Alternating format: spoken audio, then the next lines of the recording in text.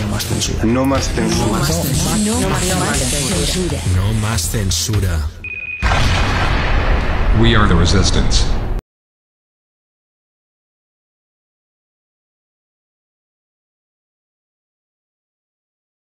El tema que tocamos el to- eh, sí, que, sí que es importante, tú lo sabes. Más con. Quedan apenas dos horas para que se cumplan 19 años, macho. 19 años desde que hemos vivido esto y, todavía estamos a por uvas, que es lo que más me, es lo que más me sorprende. Si algún día llegaremos a saber toda la verdad de, lo que pasó. No sé si. ¿Tú crees que algún día sabremos toda la verdad, Raúl? Empezamos por ahí.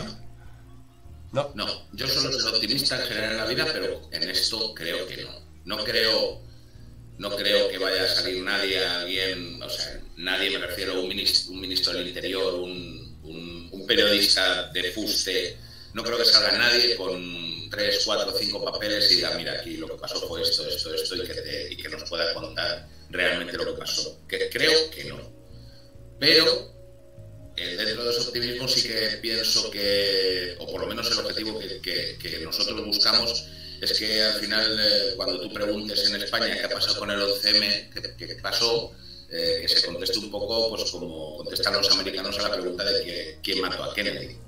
Pues mira, pues a Kennedy tú preguntas en Estados Unidos y nadie te va a decir exactamente lo que pasó porque no se sabe.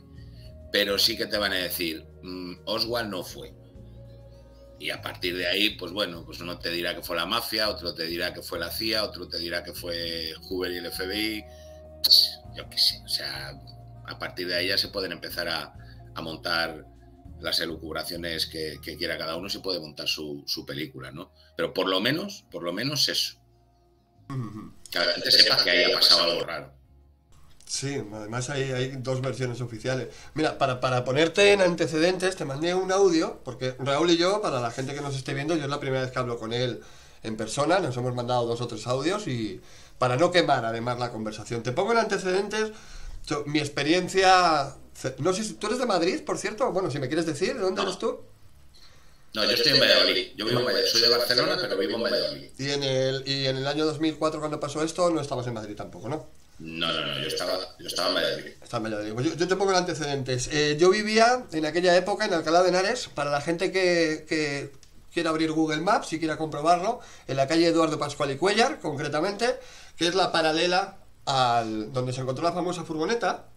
Estaba, estaba la, la- la furgoneta, las vías del tren, la estación, y, la- y el bloque de, de enfrente era, eh, ahí vivía yo.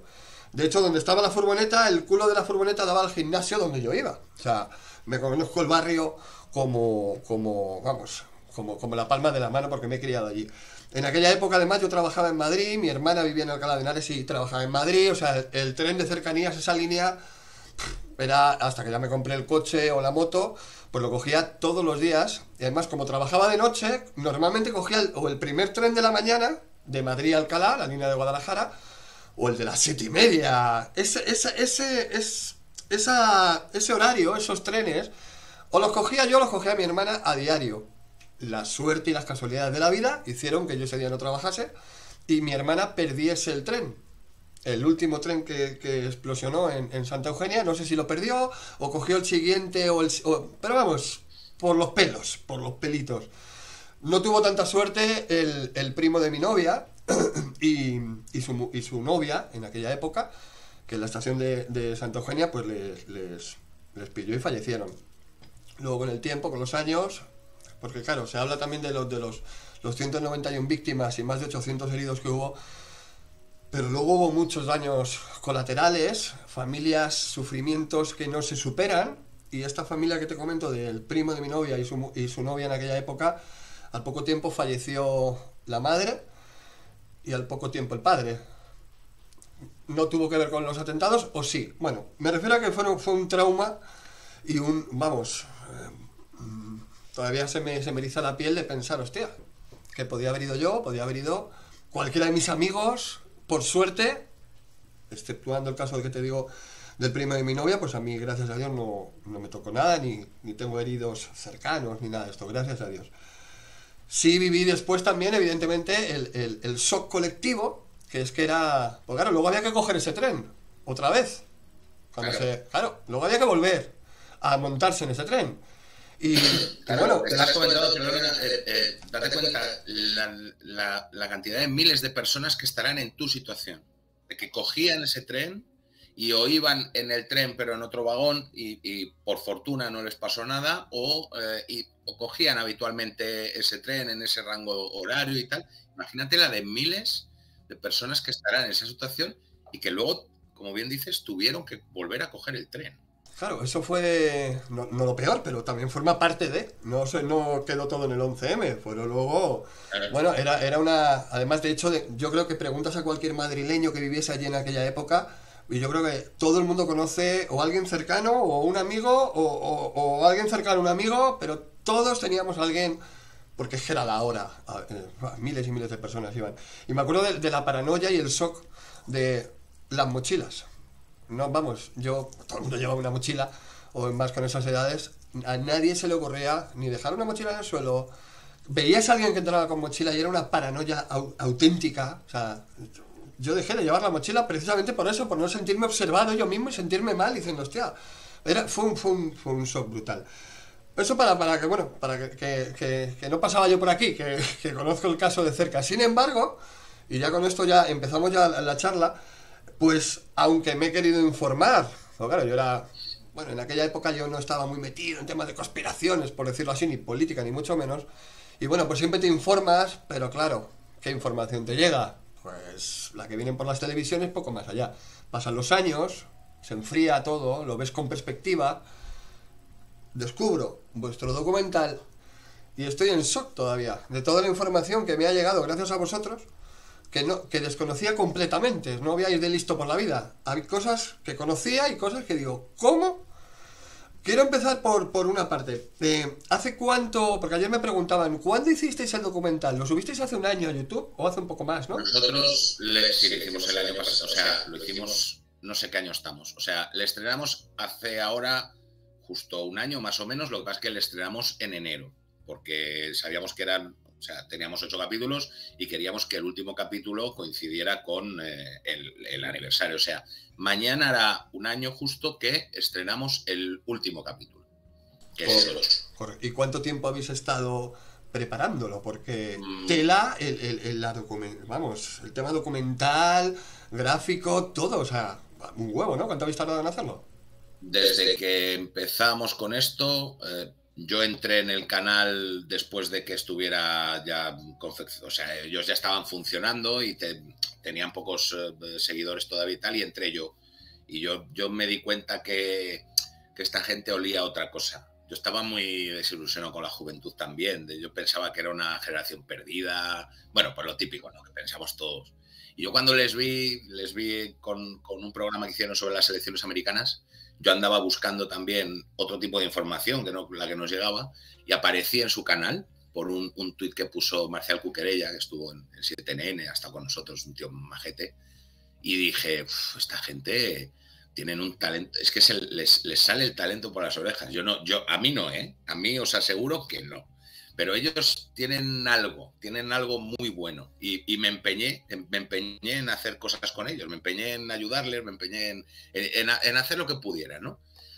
Y yo entro, eh, me dicen, ven que más o menos siglo XX, sobre todo historia de España, lo, tengo controladillo y me dicen de hacer un programa sobre el 23F.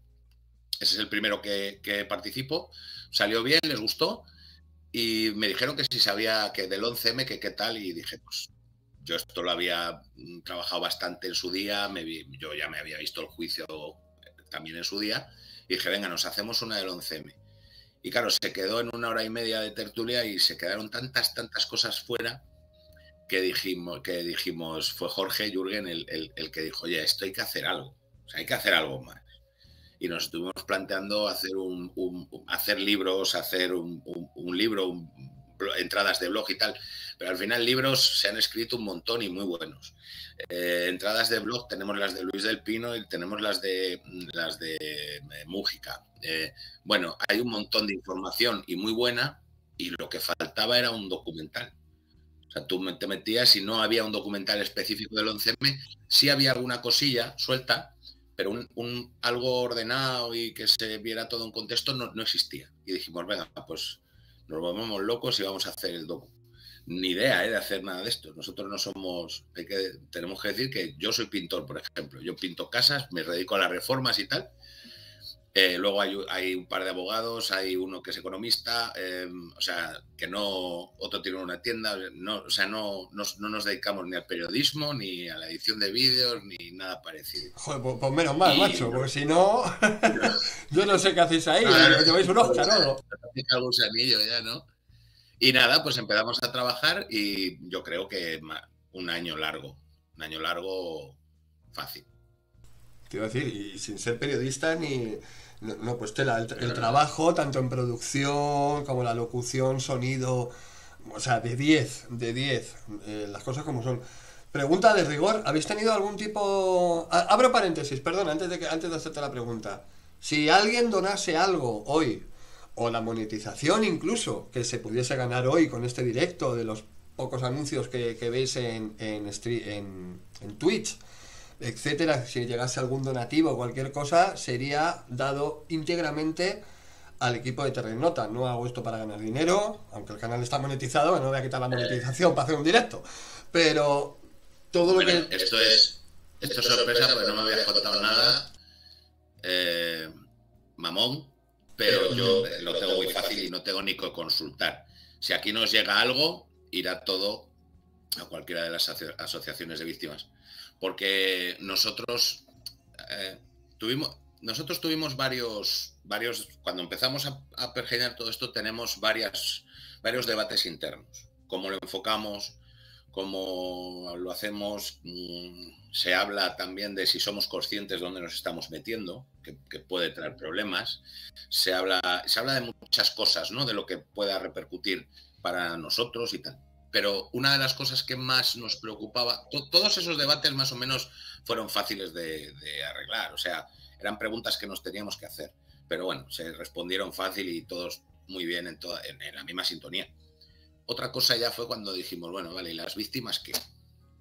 Porque sabemos que, desgraciadamente, y esto es una cosa que esto es, no sé, quizás más todavía miserable de todo lo que puede haber hecho cualquier político que haya metido la zarpa en este caso, es su utilización, cómo han utilizado las víctimas, cómo se las han tirado a, cara, a la cara, y no solo eso, o sea, han provocado que entre las víctimas estén peleadas. O sea, eso yo creo que es, es muy rastrero. Y nosotros nos preocupaba porque ahora, ahora mismo, bueno, ya desde, 2000, desde 2004, hay, hay, hay víctimas que prefieren pasar página. Y es completamente legítimo. O sea, yo no le puedo decir a Pilar Manjón, que a, veces, se, se, mete mucho con ella, no, bueno, es que Pilar Manjón no quiere tal. Bueno, pues no quiere, pues no quiere. O sea, tú no le puedes dictar a, a esa mujer cómo, cómo tiene que llevar el dolor por la pérdida de un hijo, ¿no? De la misma manera que tampoco puedes dictarle a alguien que ha perdido a su hijo, a su madre, a su marido, a alguien, o que, o que se ha quedado sin piernas, tú no le puedes dictar tampoco cómo, cómo tiene que llevar su dolor y no le puedes decir que se calle si él quiere seguir buscando la verdad, ¿no? Por lo tanto, el tema de las víctimas para nosotros era complicado, porque no sabíamos cómo se iba, cómo se iba a aceptar desde, sobre todo desde su lado. Y lo que hicimos fue, primero, evidentemente, em, o sea, descartar por completo cualquier eh, dinero que nos pudiera llegar por esto. O sea, pues, todos los vídeos están desmonetizados, no, eh, no, no, no, no, hemos cobrado por el docu, el docu está en abierto por, al completo, o sea, en ese aspecto no, no hubo dudas. Que sería, sería, totalmente lícito también, ¿eh? Porque el currazo que os habéis dado, pero, pero está, pero está, vamos, muy bien por vuestra parte, pero que aún así sería lícito. ¿eh? Sí, sí, sí, es cuestión de ética, claro. si te da, si, yo también sé que hay mucho no, no récord, pero sí que pica todavía a lo mejor que cierta gente haya sacado sus libros, haya sacado sus estudios y, y cobre por, por por, vender un libro. Oye, chico, oye, ¿por qué no, no? O sea, incluso, incluso, aunque te lo vayas a gastar luego en cerveza, o sea, que si nosotros hubiéramos cobrado algo de esto, hubiéramos hecho como con todo, somos seis, no nos da para repartir ni un duro. Tenemos ahí una cajica que cuando eso, pues hacemos como pues, pues, lo de mañana. Lo de mañana nos cuesta dinero. O sea, lo que vamos a montar mañana cuesta dinero. Y eso pues, pues se va pagando pues, con lo que va saliendo del canal un poco. Y otro día pues quedamos con la, con la muchachada y nos comemos unas salchichas ahí y, invitamos a unas salchichas a todo el que quiera y pues ese tipo de cosas. Pues este ordenador eh, que tengo hoy se ha comprado con, con dinero del canal, cosas de ese tipo, ¿no? Que si fuera, como dices tú, de otra manera, completamente lícito. Me lo gasto en vino, lo que me dé la gana, ¿sabes? Que todo, me he tirado un año aquí currando para esto. Pero bueno, no es el caso. No, no fue una opción en ningún momento. Te iba, te iba, a preguntar, aunque creo que conozco la respuesta, para, que veáis que no, hemos hablado él y yo antes, ¿eh? O sea, lo que, lo, que, lo que le pregunte es lo que me viene a la cabeza y tampoco tengo nada guionado. Tengo muchas cosas en la cabeza que intentaré ordenarlas a lo largo de, la, de la, conversación, más que entrevista. Eh, pregunta eh, que creo que me sé la respuesta. ¿Habéis tenido algún tipo de financiación, ayuda para hacer este tipo de documental? Sí. ¿Sí? Sí, entre, entre, entre cero y nada. Ah, vale, vale.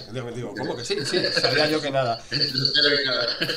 ahora, que te veo fumar, voy a hacer un, eh, voy a hacer un cigarro. Y, y la contra. toda, la ayuda, toda, sí que ha habido, ha, habido donaciones, porque aunque está desmonetizado, pero sí que ha habido gente que ha llegado y ha dicho, oye, esto es un currazo, ha habido donaciones y tal, pero vamos, que, que no estamos hablando, que no sé, no, no sé, no creo que me riñan por decir cifras, pero vamos, no estamos hablando de mil euros, ¿eh? O sea, que no.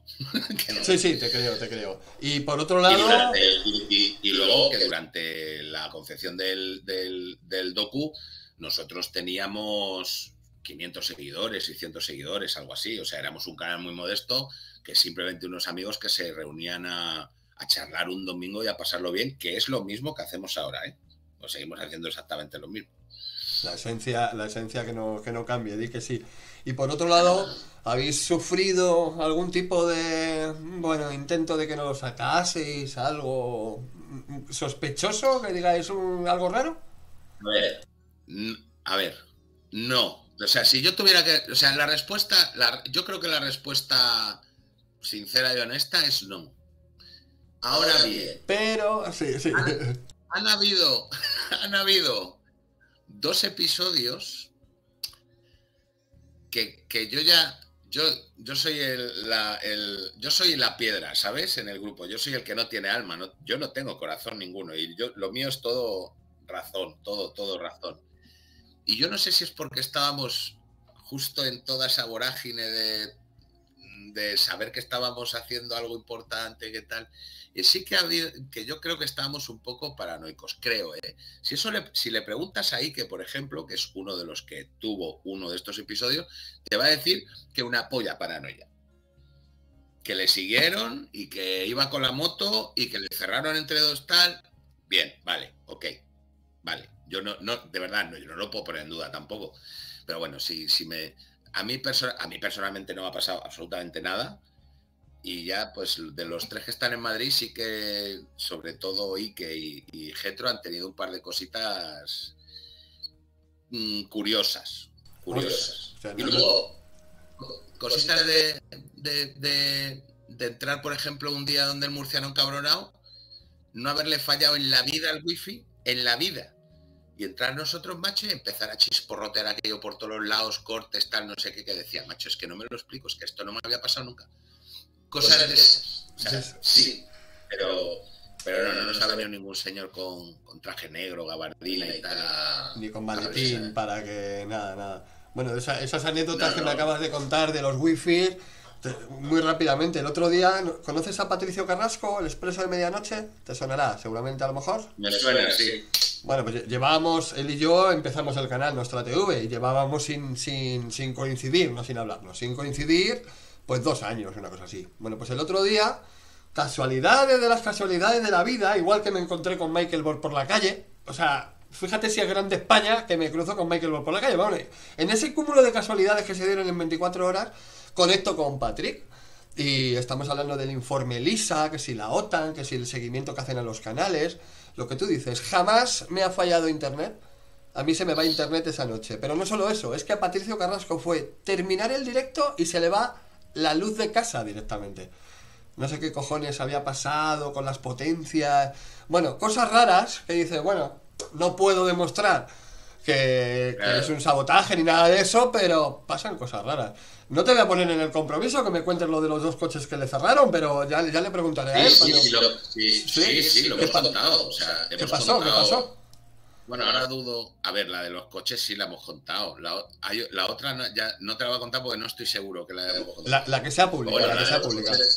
sí, la de, la, de los coches, o sea, él baja, él iba, él había quedado con una persona porque Ike es uno de los que van a hacer las, las entrevistas físicas. Cuando él es nuestra, es el guapo del grupo y es al que mandamos de primero. Y si le pasa algo, pues mira, chico, pues sabes que te den. ¿eh? Eh, entonces, em, habíamos quedado con alguien, habíamos quedado con alguien y, le pidió que no, que fuera solo y todas esas cosas que se dicen en las películas y que tú ves la peli y dices, ah, te estás tirando el mogo y tal. Bueno, bueno, pues no, no, no es, no es, o sea, eso pasa, ¿no? Y le dijo, bueno, pues vente solo tan aquí. Y él bajaba con la moto de su casa y tal, en, un, en unos carriles donde solo había uno, un coche delante que se le para mucho, raya continua, zona de curvas que no puede adelantar, el despacito detrás del coche porque este no tira y se le aparece otro coche por detrás y se le van juntando así hasta que llegó y todo aquí, ni raya ni leches, ni, ni, se, se fue, ¿no? Esa, esa la hemos contado y, llegó acojonadísimo, llegó acojonadísimo. Claro que yo me río porque yo no, no, iba en la moto, ¿sabes? Que igual voy en la moto y... Claro. Claro, claro, y, y es que justo en ese momento en el que has quedado con alguien que te va a contar algo, y dices, joder, macho, es que es mucha casualidad. Pero bueno, es lo que tú dices, no lo, no puedes, no lo puedes asegurar, no, sabes. Bueno, que quede en anécdota, que es lo que, es lo importante que solo que en anécdota. Bueno, me, vendrán más preguntas sobre, sobre el documental en sí. Te quiero hacer una pregunta. Si, para la gente que nos está escuchando y que no que, escuche esto por primera vez, porque el 11M, pero habrá, a lo mejor hay gente joven por ahí, de como esto se sube a muchas plataformas, a saber quién lo ve. a lo mejor hay gente que dice, coño, el documental de Terreignota. Bueno, el documental lo tenéis en el canal de YouTube de, de ellos, Terreignota, son ocho episodios, más luego las entrevistas, aparte de los directos, y hay que vérselo desde, desde el uno. O sea, si haces como hice yo en su día, que me vi un poquito de uno y un poquito de otro, te hacen más lío todavía de lo que, de, lo que es en sí el caso. Entonces, pero si te lo ves de principio a fin y un par de veces además, hostias, hostias. ¿Qué le, ¿Qué le dirías tú para ti? ¿Cuáles son dos, tres puntos claves que tiene el documental? Dos, tres, cuatro, uno. lo que tú consideres, hostia, esto es lo que lo hace, esto es lo que puede hacer este caso que se vuelva a abrir, que, que se sepa algo, etcétera. A ver, el documental creo que lo más importante que hacemos nosotros es eh, primero dar algo que no sabía, que no está, que no está, que no, no, existía. Y es esa coherencia en el relato. O sea, nosotros damos el relato de, o sea, el docu tiene una estructura muy, muy sencilla. El primer capítulo, que es diferente a todos los demás, es eh, poner, poner, o sea, poner los tres días aquellos del 11 hasta el 14 que se votan, ¿no? De las elecciones. ¿Qué pasa eh, y te intentamos colocar allí. Antes de hablarte de pruebas falsas de, la prensa, del PP, del PSOE, de tal, no, primero nosotros queremos colocarte en aquel día. Y como si tú estuvieras en tu casa y te estuvieras enterando y te, te estás enterando lo que pasaba en esos tres días. A qué hora sale Acebes, qué cuenta Acebes en cada, en cada eh, comparecencia, cuándo son las bombas, cuándo sale Otegui, cuando aparece la Cangú, cuando aparece Zogam en escena, las detenciones, la reivindicación, tal, pum. Los hechos de aquellos tres días. ¿Por qué hicimos ese primero? Primero por darle esa coherencia al relato, por, primero por explicar de dónde viene todo esto, y segundo y lo más importante que creo que creíamos que, incluso en gente que lo había vivido ya de mi edad, como son 20 años de rodillo mediático que te taladra, te distorsiona, te distorsiona la realidad y, realmente tú te crees que había pasado de una manera y cuando ves las imágenes dices, coño, si yo es que esto pensé que, que no había, que no era así. Y resulta que, coño, que lo estás viendo y es así. Doy fe, doy fe. Me, me pasó a mí, que digo, hostias. Ya, ya, pero ya te digo, no solo de, de, que se te haya olvidado o gente joven que no supiera, o sea, gente como de, mi edad que, que, lo vivió, de intensamente aquello, mm, tiene la, perspectiva completamente distorsionada por los 20 años de rodillo, ¿no? Y, para eso era el primer capítulo. O sea, llegar y colocarte ahí y decirte, no, mira, pasó esto. Y ahora, una vez que ya sabes lo que ha pasado y te acuerdas lo que ha pasado, vamos a empezar a ver qué pasa después, que es toda la investigación, todo el juicio, de Ganés, y por eso cogemos y en el segundo capítulo analizamos un poquito el perfil de todos los implicados en el caso. En el capítulo 3 hablamos, bueno, de memoria no me lo sé, pero bueno, se habla luego de, cómo se sustituye el escenario del crimen por otros escenarios. Se habla de los explosivos, que para nosotros es fundamental también todo el tema de explosivos, muy denso, se dio mucha guerra. Es otro tema en el que se, como en todo el caso, pero quizá en lo de los explosivos, hay muchísimo ruido de fondo totalmente mm, provocado para que no entiendas realmente lo que, pasó, lo que explotó allí. E intentamos quitar ese ruido para que realmente se sepa que a día de hoy no se sabe que explotó los trenes. Cuando la fiscal decía esto ha sido gomado seco y vale ya, bueno, pues no ha sido gomado seco solo, por lo menos solo. O sea, hay más cosas, ¿no? Tratamos la trama mediática, quién miente, quién no miente, quién hace investigaciones, hasta dónde llegan, por qué, los intereses de, esos medios. Eh, analizamos también el papel de los jueces, de los fiscales, de los policías en otro capítulo. Y luego, en y, luego todo ello, que son esos del, 2 al 7, todo ello desemboca en el 8, que también es completamente diferente. Porque del 2 al 7 son hechos. No hay absolutamente nada que sea especulativo. Además, súper, perdona, que te interrumpa, súper meticuloso. O sea, desde, desde cómo son los ingredientes de los explosivos, o sea, super, además muy aséptico. estos son los datos, esto, este ha dicho esto, este ha dicho, estos son, o sea, opiniones aparte. No es un documental que digas, mira qué panda de conspiranoicos. No, señores, son datos que están ahí y, y o sea, no es la opinión de nadie. Y además, la voz que lo narra perfecta, macho. Además, porque es que te, te pone en la situación, como tú dices. Y es que es, es denso, porque es denso, algunos, sobre todo el tema de los explosivos, pero es que te quedas como diciendo, hostias, vaya trabajazo de investigación. Perdona, perdona que te haya interrumpido, pero quería, quería comentarlo. Em, opinión no damos. Tenemos un sesgo e, evidente, evidentísimo. Cualquiera que, no, que entre en el canal sabe de qué pecojeamos. Lo sabe para nosotros posiblemente Vox se quede en un tibio socialdemócrata, posiblemente. Pero eso no te deshabilita, no te inhabilita para hacerte ciertas preguntas y que, y que, y que te las quieran, que, tú quieras que te las contesten, ¿no?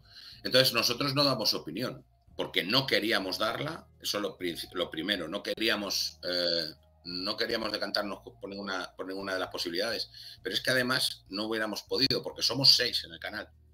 Y es que los seis pensamos seis cosas diferentes. Y más, y más cuando hemos empezado a trabajar en el documental que pasaba esto. No, yo no me acordaba de esto. Ostras, Getro lo dice muchas veces. Getro es el que, el, que, que, monta el, el, docu, el que lo edita, el que lo pone bonito y tal, que para mí eso, ya te digo, yo siempre me parece mucho más difícil, porque yo hacía las maquetas y eso era como, como si te metieran dos puñales en los ojos. El, editor, el, editor de los vídeos es Getro. Es, Getro. y lo dice muchas veces él, él se habrá visto los, los capítulos, pues como yo, pues cada capítulo le podemos haber visto 14, 15, 18 veces, 20, fácil. Y dice que cada vez que veía un capítulo decía, ostras, es que, que, iba cambiando de opinión por, por todas las cosas que, le, que, iba viendo, ¿no? Entonces, eh, todos esos, esa ametralladora de hechos que está todo fundamentado, sobre todo es el juicio, eh, esos siete capítulos es el juicio, es la crónica judicial que no hizo Antena 3, que no hizo Televisión Española o que no hizo Telecinco. Y que hemos tenido que hacer seis taraos de aquí que se han juntado. Que eso es muy triste, eso es para darle una pensada también.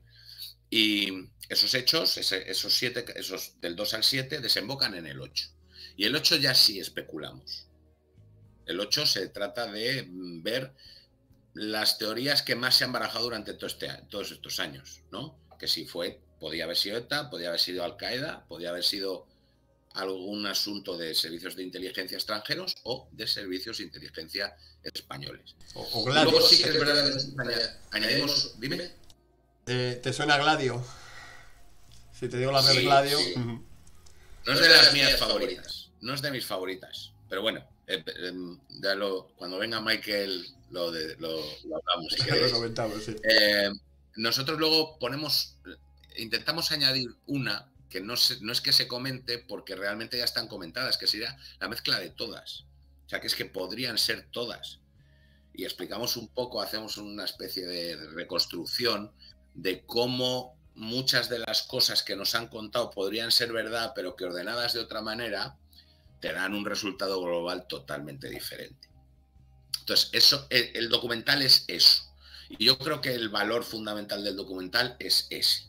Que esto que no estaba hecho y está ordenado para que no te pierdas, para que no te, no te resulte farragoso, porque hay muchas, porque hay algún vídeo por, por, por internet que es muchísimo más completo que los nuestros, pero si no estás muy metido en el, en el asunto, es imposible, porque te pierdes. Entonces, nosotros queríamos llegar a muchísima más gente y como ya son muchos años y sabíamos que, hay mucha gente joven que no estaba muy, muy informada, digo, bueno, pues alguien que lo pueda ver desde cero o que lo puedan ver en el extranjero. Lo han visto muchísimo en Argentina, este documental. Y te llaman y te ponen un mensaje y te dicen, joder, macho, pero, claro, en Argentina no tenían ni puta idea, no se acordaba nadie y un tío de Argentina que no tenga el contexto político incluso español puede ver el, documental. para mí eso es uno de sus valores. Esto para, para ponerlo en las universidades, o sea, porque es lo que tú dices, desde cero, o sea, sin, ah, viene un chino aquí que no tiene ni idea de lo que ha pasado, le pones el documental y se entera de todo. Luego, como tú dices, podréis tener vuestra línea editorial, vamos a llamarlo así, porque bueno, oye, cada uno aquí tiene sus, sus, pensamientos y, y lo, lo, quiere enfocar de una manera. Pero es que en este caso es muy, muy aséptico, muy. pum, pum, pum, pum. Para mí, uno de los. Uno de los bueno, te he comentado antes, yo vivía en Alcalá y el tema de la furgoneta, fíjate que, era lo, lo, más cercano que he tenido y de lo que menos sabía, tal vez. Me ha llamado muchísimo la atención. O sea, parece mentira que, que coño, un madrileño encima y no sabía estos datos. Pues no lo desconocía. Para la gente que nos esté escuchando, poner en contexto: se encuentra una furgoneta en Alcalá de Henares, llegan los, los TEDx, Llaman a la policía, vienen los TEDAC. Los TEDAC no encuentran nada. De hecho, se. Muy bien, ponéis en las declaraciones de los TEDAC en el juicio. Oiga, además es que hasta le preguntan, permíteme que yo, yo lo adorne un poco. Le Oiga, por favor, ¿pisó usted al menos un destornillador? No, no había nada, un chaleco amarillo. La furgoneta la trasladan y luego resulta que aparecen ahí detonadores, eh, una bolsa con no sé qué y un elefante rosa sentado en el asiento del copiloto que nadie había visto. ¿Qué pasó con esa furgoneta desde que vienen los TEDAS y no ven nada hasta que aparecen todas esas pruebas? Porque ahí a lo mejor tengo que volver a verlo, lo sé, pero ¿qué, pasó en el tiempo? Desde que vienen unos policías y dicen aquí no hay nada, ni siquiera hay huellas, hasta que de repente se presentan como prueba con la furgoneta cargada de como una mudanza. ¿Qué pasó ahí? Aquí hay un... A ver, vamos a no, bueno, vamos a, vamos a explicarlo bien. Ah, cuando hay que comunicar y cuando tú quieres decir algo, tú tienes que mostrar algo que impacte. Entonces, lo que hace el mundo, porque el que, el que va sacando, el que va tirando esa del hilo, siempre es el mundo, siempre es el mundo el mundo de el mundo antiguo, el de Pedro J, el que el que iba, el, el, de antes. El que llevaba la batuta junto con Gabilondo, que eran los dos que estaban ahí en el eran, eran los dos, claro. Cuando, cuando él hace ese reportaje, él pone una foto de la Kangoo vacía, como si saliera de fábrica, y otra con las sesenta y pico evidencias que, que, aparecen en esa furgoneta repartidas por todo el maletero. Em, esa, eso es un truco visual es un truco visual para que tú veas en esa portada y digas, coño, si han dicho que no había nada, pero resulta que, bueno, pues seguramente los chalecos amarillos reflectantes estaban, seguramente había una maza en alguno de los bolsillos laterales, seguramente había algún tipo de herramienta, seguramente había cintas, tal, y todo eso concuerda con que los policías dijeran, bueno, pues es que no había nada. No había nada. Hay un policía que llega a decir, bueno, pues podría haber a lo mejor un boli, podría haber a lo mejor algo, pero no había nada que a mí me supusiera que fuera peligroso. Ese es un truco visual para vender esa portada y luego, ¡pam!, te meten el texto y te explican todo. ¿Cuál es lo importante de la furgoneta? La clave de la furgoneta son los explosivos, que allí entran dos perros, porque el, el ser humano se puede equivocar o puede no ver esos explosivos que estaban mm, que aparecen metidos en el bolsillo de debajo del asiento del copiloto, ¿vale? Pero lo que no puede entrar en duda, y así se demuestra en el juicio, es que un perro y no detecta nada. En, ese en el juicio se le llegan a preguntar, bueno, pero es que eran muy pequeños los trozos de explosivo, es que estaban envueltos en una bolsa, es que podría ser que no los hubiera olido. Y llega el tío de los perros y dice, hombre, a ver, si me lo estás poniendo en un caso extremo de que hubiera solo eso y tal, pues a lo mejor no lo huele. Pero dice, si en esa furgoneta se han transportado 30 kilos de explosivos, el perro lo detecta.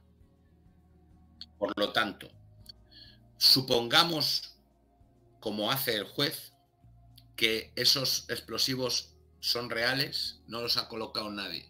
No se puede decir, y así lo dice el juez, en su sentencia dice que no puede asumir la tesis de que en, esos, eh, en ese vehículo habla de los dos, de la Kangoo primera y del Skoda Fabia que se encuentra después, en junio. Dice que en esos dos vehículos no pueden asumir la tesis de que, se hayan transportado los explosivos. Esa es la clave. Si luego nosotros nos queremos, eh, cuando te viene alguien a rebatir esto, es que esa foto es falsa, es que no. Coño, claro que es falsa, joder, no, no, tuvo acceso Pedro J a la furgoneta real, ¿no? Te está haciendo una recreación.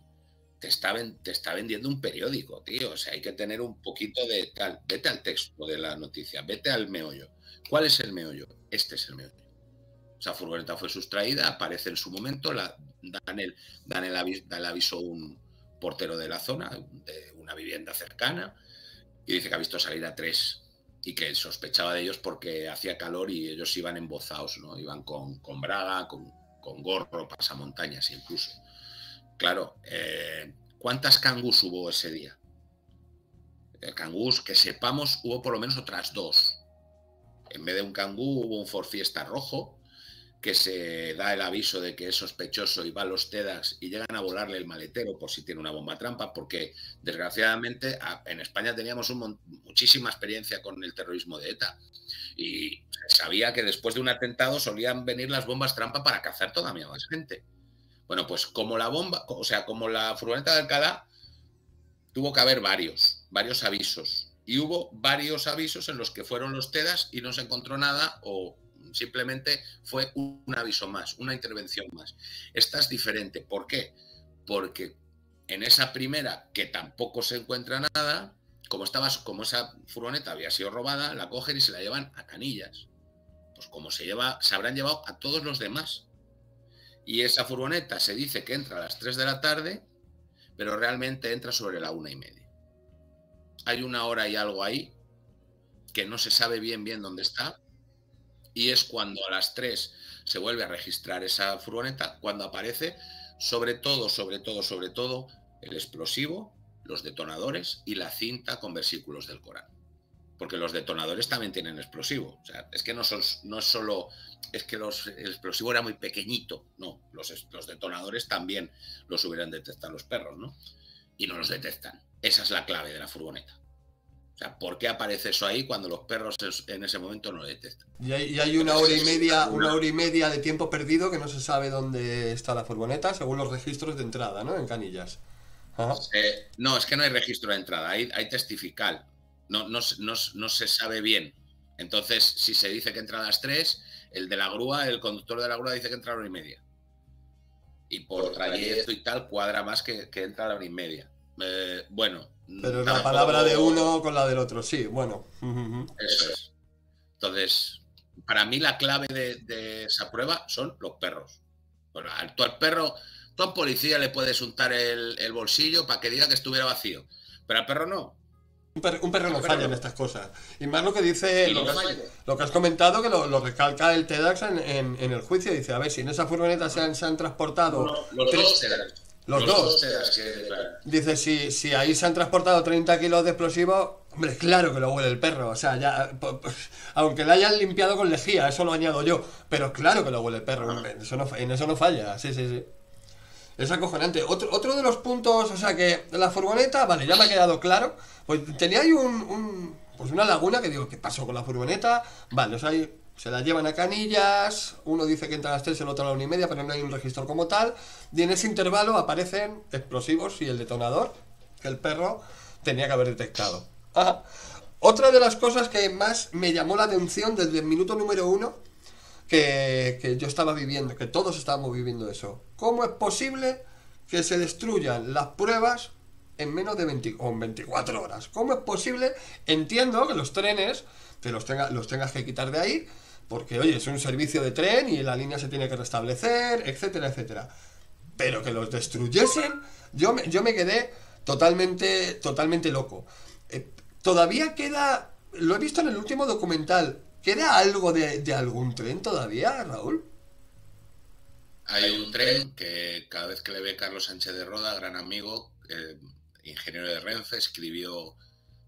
Yo siempre me gusta, cuando hablamos de los, de los trenes, cómo se destruyeron y tal, siempre mandamos a, lo mejor que se ha hecho al respecto en, ese mm, punto de, de, los trenes, todo lo que tiene que ver con los trenes. Y son el libro de Carlos Sánchez de Roda, Los trenes del 11M. Ahí está pormenorizado todo lo, lo que pasó con todos en tiempo real, más o menos, dónde fue cada vagón, dónde fue todo. Y Carlos Sánchez de Roda, que estará mañana con nosotros en el acto en el Teatro Arapiles, eh, siempre que pasa por, por, Él sigue cogiendo el tren y tal, y siempre que, que, puede, pues sobre todo cuando le ve al coche 190, mm, que ese es el tren de Santa Eugenia, el que explota en Santa Eugenia. Se reparó y, siguen, y sigue activo. Y es, es más, digamos, es una cuestión más romántica quizá, ¿no? De que, el que ha estado tan metido en el, en el tema, claro, le ve y, joder, se acuerda, ¿no? Y, le hace una foto y dice, pues mira, el tren, el tren de Santa Eugenia, sin estar en Santa Eugenia, ahora mismo está pasando por eh, Vicálvaro, por ejemplo, ¿no? Si está por allí. Eh, todavía queda ese, ese, ese. Lo que pasa es que, claro, evidentemente se arregló, se, se, puso a funcionar otra vez. Pero todos los demás, eh, quitando uno que apareció en 2011, creo, un vagón.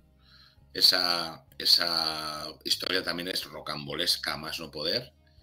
Eh, los demás sí, fue cuestión de, de horas que se ordenó retirarlos y, al desguace y ya está, ¿no? O sea, eso es, es que me preguntas, ¿cómo, ¿cómo se pudo dar esa orden? Joder, es que... Es que además nadie sabe quién dio esa orden. Además, por lo que he estado viendo en el documental, no queda claro todavía quién dijo destruir los trenes. No, no, no sé, o sea, a día de hoy nadie sabe el juez Bermúdez lo preguntó, que, dónde estaban los trenes, preguntaba Bermúdez, ¿no? Y, le mandó, mandó una nota a Renfe para que se lo explicara y Renfe le, pasó una nota súper detallada con todos los vagones y todos los efectos de las estaciones, todo lo que se había destruido con las explosiones, porque eso tendría que pagar algún seguro, ¿sabes? Entonces hubo que hacerse una referencia total de todo y ahí se ve pues lo que pesaban unos, lo que pesaban otros, tal, dónde fue el vagón X, dónde fue el vagón del pozo, tal, a qué desguace, a qué sitio. Hay alguna foto que ponemos en el documental de, un camión de desguaces llevándose los restos y tal. Es, es, que es, alucinante. O sea, es que, claro, es que a la pregunta, ¿cómo se puede dar esa orden o por qué se... O sea, tú ¿Qué otra cosa puede ser para que para decir, no, es que tiene que desaparecer? O sea, ¿qué razón pueden... Eh, es que no la hay. O sea, tienen espacio de para guardar eso. Además, ya está. ¿por qué no se hizo? Lo comentéis en el documental, a día de hoy todavía hay coches de, ETA, me parece, todavía ahí para, para, investigaciones, o, o sea que no es lo habitual es guardarlo, aunque sea por siglos, da igual. Además, precisamente por también por seguridad. ¿no? aparte de para saber lo que pasó, pues poder mejorar todo para por si vuelve a pasar que mil mil detalles que te obligan a guardar eso. O sea, ya no es porque no te apetezca.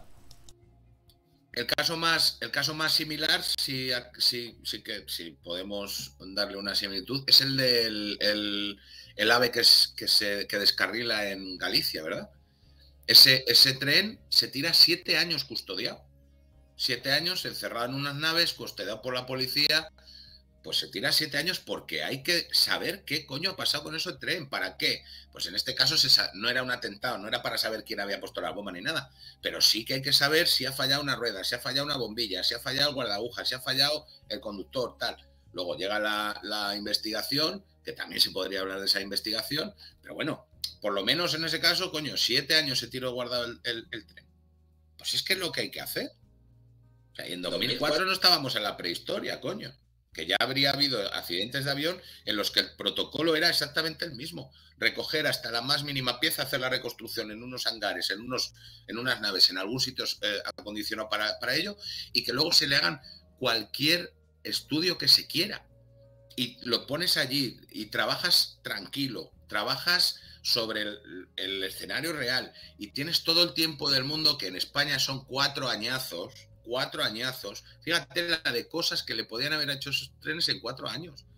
Todos los estudios que hubieras querido.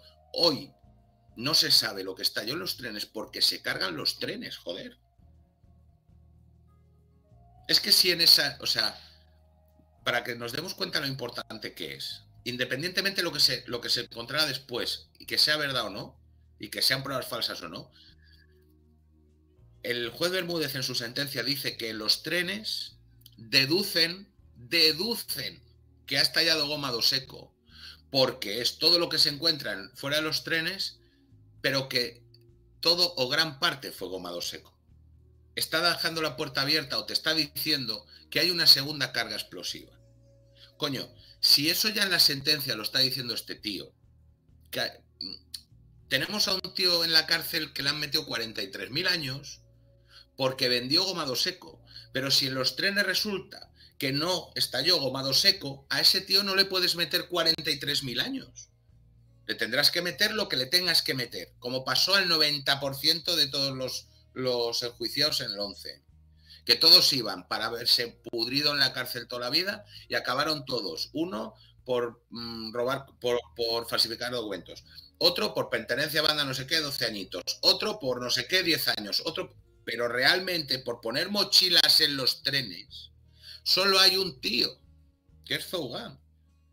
Y es el que todo el mundo sospecha que es el cabeza de turco. Coño, si tú no mm, destruyes los trenes, tú, ellos podían haber hecho los, los estudios correspondientes para saber exactamente qué había eh, explotado. Y si hubiera explotado gomado seco, el caso está muchísimo más claro. El caso para Trasorras está muerto porque ese es tu, es tu explosivo, y para eh, el Gauni también. Y habría que ver luego qué pasa con Zugan, que Zugan no está relacionado con ningún tipo de explosivo, ¿no? Zugan, era, el, perdón, e, era el chivato de la policía, ¿no?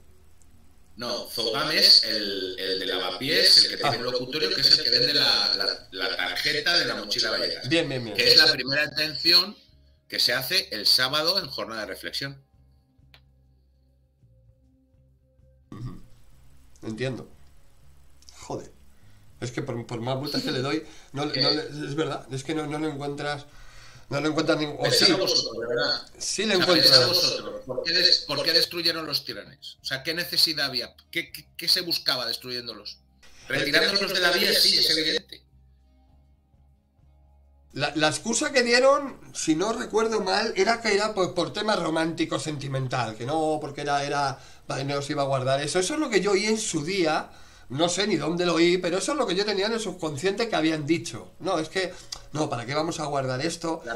Que fue lo primero que me vino a la cabeza. es que hay que guardarlo. la respuesta más habitual es eh, que, porque había que reanudarse el tráfico ferroviario, ¿no? Pero claro, es lo que tú dices. Coño, bueno, pues vale, cógeles y llévalos. O sea, el tren de Angrois no se tiró siete años encima de la vía.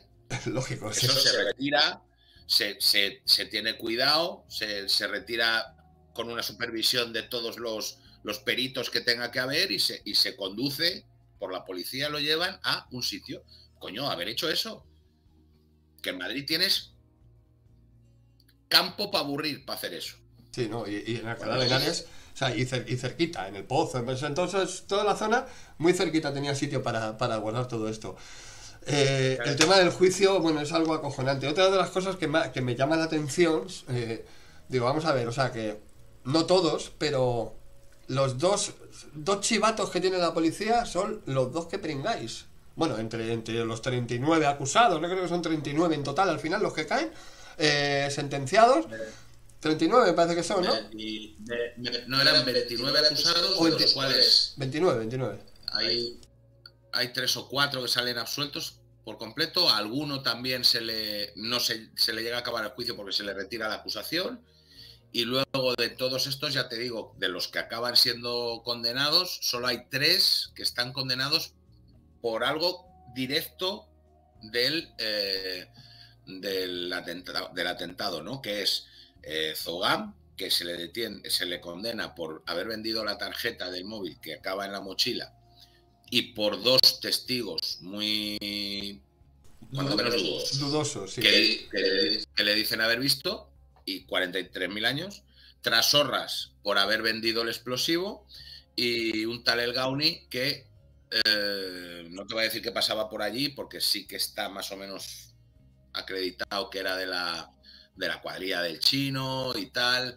Bueno, eh, está en varios sitios, de, en varios, se le puede colocar en varios escenarios y eso, pero no se le, no se le puede condenar por haber colocado las mochilas. A Zogam sí, pero al Gaunin, al, al Naui no.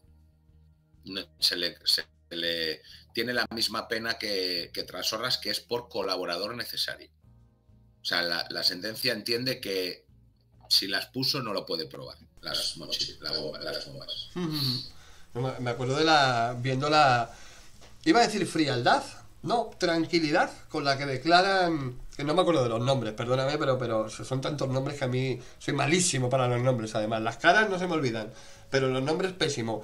El, el chivato de la policía de Asturias, el que se supone que... Bueno, se supone no, que tuvo una reunión y fue él el que se chivó de que querían comprar eh, explosivos y una cosa así. Otro que también... A mí me sorprende la, la, la tranquilidad con la que el tío declara y Mira, a ver, ya, yo sé que hay una sentencia y que hay que respetarlo y que y tal, pero en mi cabeza está que fueron cabezas de turco todos. O sea, hay muchas cosas que, no, me, son ilógicas. O sea, después de, hacer todo esto, les pillan a unos celebrando el Día del Padre en la finca que tenían en no sé dónde.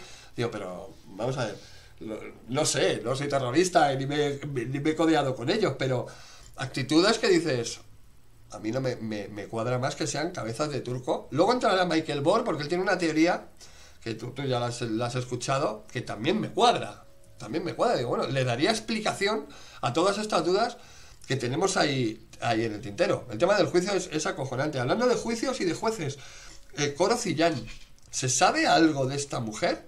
Si quieres poner un poco en contexto a la gente quién es Coro Cillán rápidamente, bueno, explícalo sí, vamos a ver. Eh, cuando, se, cuando Bermúdez eh, acaba en 2007 el juicio, sale la sentencia y tal, después hay unos recursos, hay unos recursos al Tribunal Supremo, se vuelve a retomar el caso el Tribunal Supremo, sobre todo para los recursos de los tanto de acusados que quieren librarse como de eh, acusaciones que quieren meter más años. ¿no?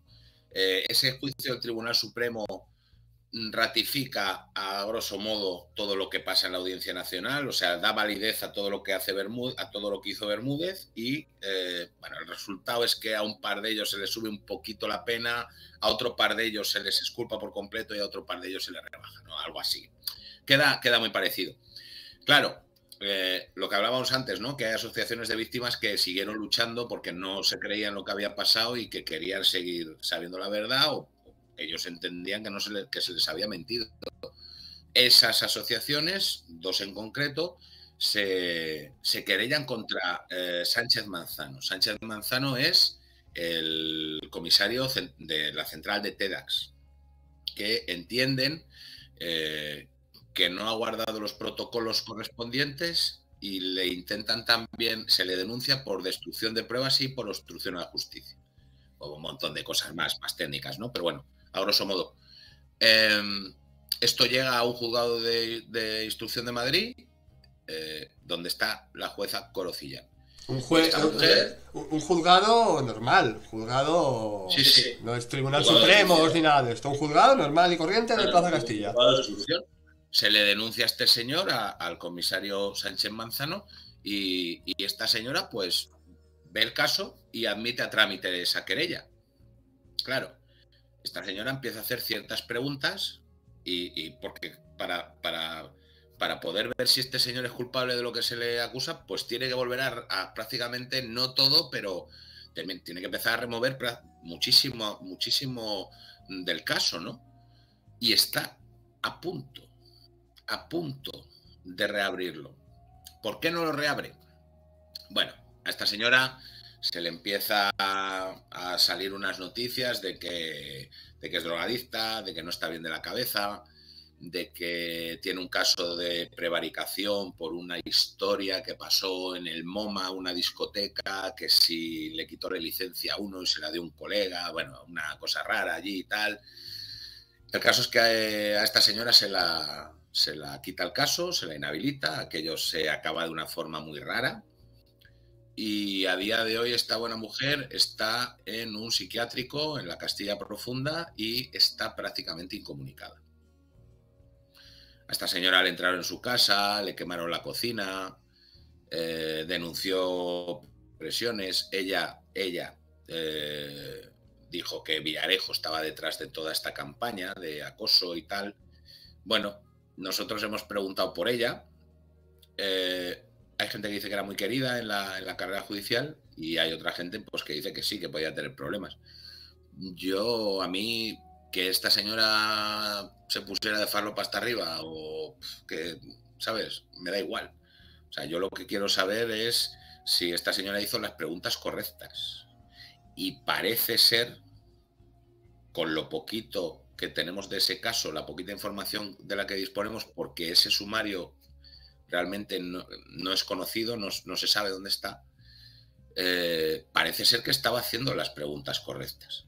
Ese juicio se llega, o sea, por lo menos ahí hay, hay varias testificales de varios policías que allí cuentan cosas. Pero claro, no se puede llegar hasta el final porque, porque el caso se le quitan, ¿no? Se, se le quitan y se la quitan del medio. Se la quitan de medio literalmente. O sea, que está metida en un, en un psiquiátrico, ¿se, ¿se sabe dónde? o... No se sabe dónde exactamente, ¿no? Sí, se sabe. Sí, se puede saber. Pero, pero da igual, porque tampoco vas a poder hablar con ella nunca en la vida, ni te van a dar más información, sí. Porque hay gente que me... ya veremos. Ya veremos, ¿no?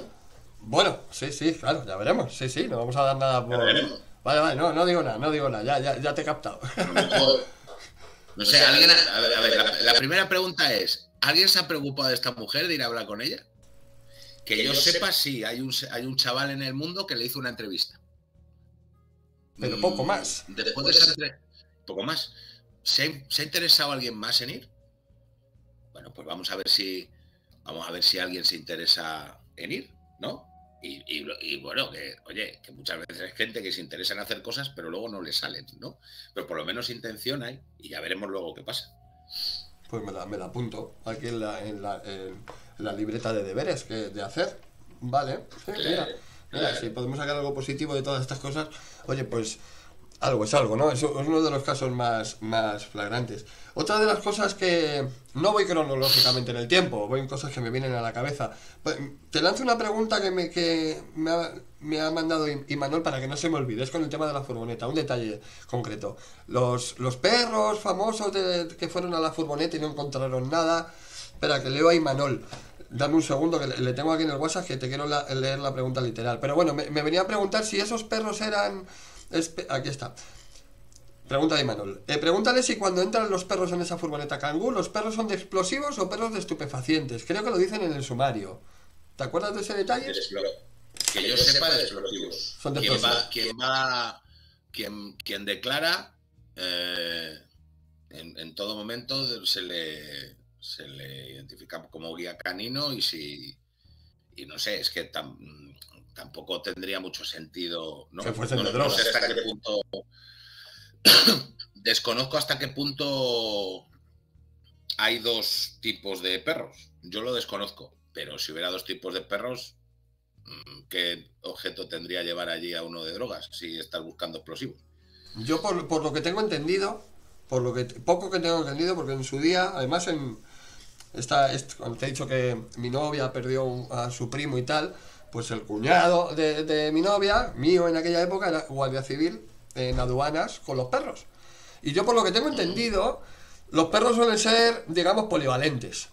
Luego están, luego hay otros que están especializados en, por lo que tengo entendido, ¿eh? igual algún guardia civil eh, guía canino me escucha y dice, esto está diciendo gilipolleces. Pero yo tengo en la memoria eso, que son, digamos que se les entrena a buscar, aunque luego, pues sí, efectivamente luego se les especializa en algo, pero... O sea, un perro de drogas te encontraría explosivos fácilmente. No hace falta que le entrenen mucho, pero luego, luego los especializan. Bueno, como, como detalle, simplemente. Supongamos, supongamos, que, supongamos que era de, que era de, de drogas, ¿vale?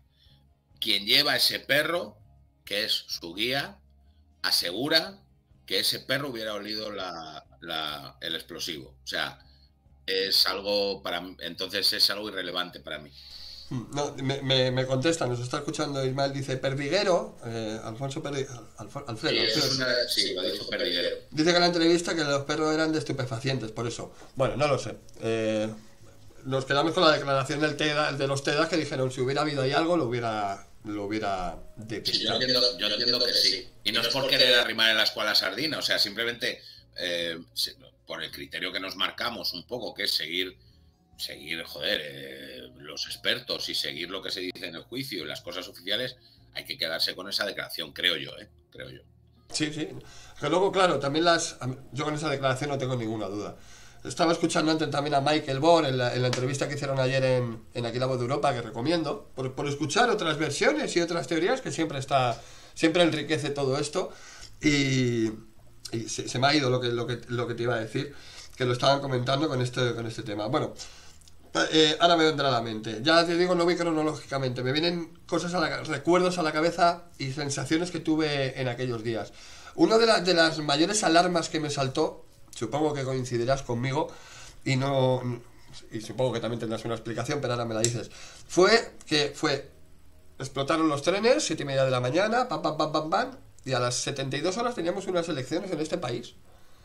Y aquí no se estableció un estado de alarma ni de emergencia, ni estado de sitio, que yo creo que nadie hubiera dicho nada si en ese momento, por lo menos en la Comunidad de Madrid, se hubiera establecido un estado de excepción. Fíjate lo que te digo. A mí, yo me hubiera quedado en mi casita porque, coño, acabas de tener el mayor atentado de Europa. No sabes quién lo ha hecho, no sabes dónde, no has capturado a nadie y estás reuniendo a la gente 24 horas después para manifestaciones y 72 horas, perdona, por seguridad, lo primero que me viene a la mente es todo el mundo que te siento en su casa, de momento, que cuando tengamos alguna pista sepamos quiénes son, ya votaremos y ya haremos lo que tengamos que hacer. Pero de momento todos quietos porque esto es un estado de, coño, de alarma. Pero vamos, literalmente. Entonces, fue algo que me llamó la atención y me ha seguido llamando la atención en otros atentados que ha habido en este país, como en el de Cataluña. También pasó lo mismo, en las Ramblas. Eh, había sido el atentado y a las dos horas o tres horas ya estaban organizando una manifestación a las 11 de la mañana en no sé dónde. Digo, pero si se supone que hay un tío loco por ahí que está matando gente y tú vas a reunir a un montón de gente en un sitio concreto para qué. Esperemos, ¿no? ¿Por qué crees? Creo que esa es la respuesta, pero que la gente te escuche. ¿Por qué crees que, se, que no se hizo nada? la respuesta es muy obvia. Si, le hubieran si se lo hubieran comido a si Aznar suspende las elecciones en ese, momento, se lo comen. Pero a mí cuando, cuando hablamos de esto, que alguna vez sale, a mí me gusta poner el ejemplo de lo que ha pasado muy recientemente. Em, claro, tú dices, joder, es que en una cosa de estas, y, luego la analizamos, pero en una cosa de estas cabe, ¿no? Un estado de alarma, por lo menos, y tal. Y más, y más, viendo que hace cuatro días se han suspendido o aplazado unas eh, elecciones autonómicas por eh, una enfermedad, ¿no? Esto ha pasado hace cuatro días. si cogemos el contexto, evidentemente dices, coño, pues lo de 2004 más fácil lo, lo, habría tenido. Pues no, no lo creo, no creo. Eh, tenemos que ponernos en el contexto de la época, tenemos que ponernos en el contexto del no a la guerra, del nunca más, de que llevábamos dos años. Eh, la, gente, la gente no sé si es consciente de, de lo que vale un minuto en televisión, pero en aquella época teníamos al programa líder, que era Crónicas Marcianas, de todos los días, donde lo veían a lo mejor 5 o 6 millones de personas, y, el, y en ese programa se tiraban 5 minutos de reloj, 5 minutos, con las cámaras enfocando al público y pancartas del no a la guerra y no a la guerra, no a la guerra. O sea, es, esa maniobra es una maniobra eh, mediática tremenda que hubiera impedido que Aznar hubiera tomado esa, esa mm, determinación. Y luego otra, otro detalle, llevábamos 40 años, 30 eh, en aquel momento, sacudidos a diario prácticamente por, el terrorismo de ETA. Estábamos acostumbrados. Había callo. O sea, se han celebrado elecciones. De hecho, siempre que se acercaban elecciones, ETA era cuando más, más intentaba atentar, porque quería influir. Y siempre, siempre el, una de las armas democráticas para, mm, ¿no? para rechazar ese terrorismo y, contrarrestarle es, no, no, mátame a quien quieras, pero yo voy a ir a votar. Eso estaba incrustado en la cabeza de la gente y yo creo que hubiera sido muy complicado. Sí, como una, demostración de no, tenemos, de no tenemos miedo, ¿no? Sí, en parte lo entiendo, pero también hubiera entendido y yo, yo, creo que tú también, ¿no? Si, si, en ese momento dicen, oye, señores, de momento hay un estado de alarma, yo creo que nadie se hubiera echado las manos a la cabeza, ¿no? Yo, yo con el atentado no yo no, o sea, yo no hubiera eh, entendido que por un atentado se hubieran suspendido las elecciones, pero hubiera entendido perfectamente que se hubieran suspendido las elecciones el día 12 o el 13, sobre todo cuando se acercan las sedes del PP. Que ahí el gobierno ya está viendo que está pasando otras cosas. Y eso es, para mí, eso sí que era motivo para llegar y decir, un momento, no vamos a votar el domingo vamos a ver qué coño está pasando aquí. Y una vez que sepamos qué coño está pasando aquí, votamos. Yo creo que hubiera sido lo más eh, coherente. Y el, yo no voto, ¿eh? O sea, para, por si no me conocías, yo, o sea, no, no defiendo al PP, ni al PSOE, ni a Vox, ni a... O sea, no voto porque no... para mí son todos exactamente iguales. Pero en ese momento yo creo que el gobierno, yo como ciudadano, lo reflexiono, yo me, me sentiría más arropado por mi gobierno si hubieran dicho esto que acabas de decir tú. Señores, un momentito. Aquí no sé, no. Ya no que no salga nadie a la calle, pero, pero vamos a reflexionar en condiciones, vamos a sacar. Porque luego el PP se le llenaba la boca diciendo, ¿no? Porque cuando nosotros volvamos al poder vamos a sacar toda la verdad. Para ti. No, nadie ha investigado absolutamente nada. En, en una hora, hace 19 años que pasó esto, y aquí nadie abre la boca, excepto cuatro de turno que estamos aquí haciendo el indio hablando de estas cosas, pero ni los medios de comunicación, sí, el recuerdo y tal, pero no ha vuelto a ver. De hecho, el PP, el PP es quien le da la puntilla al caso.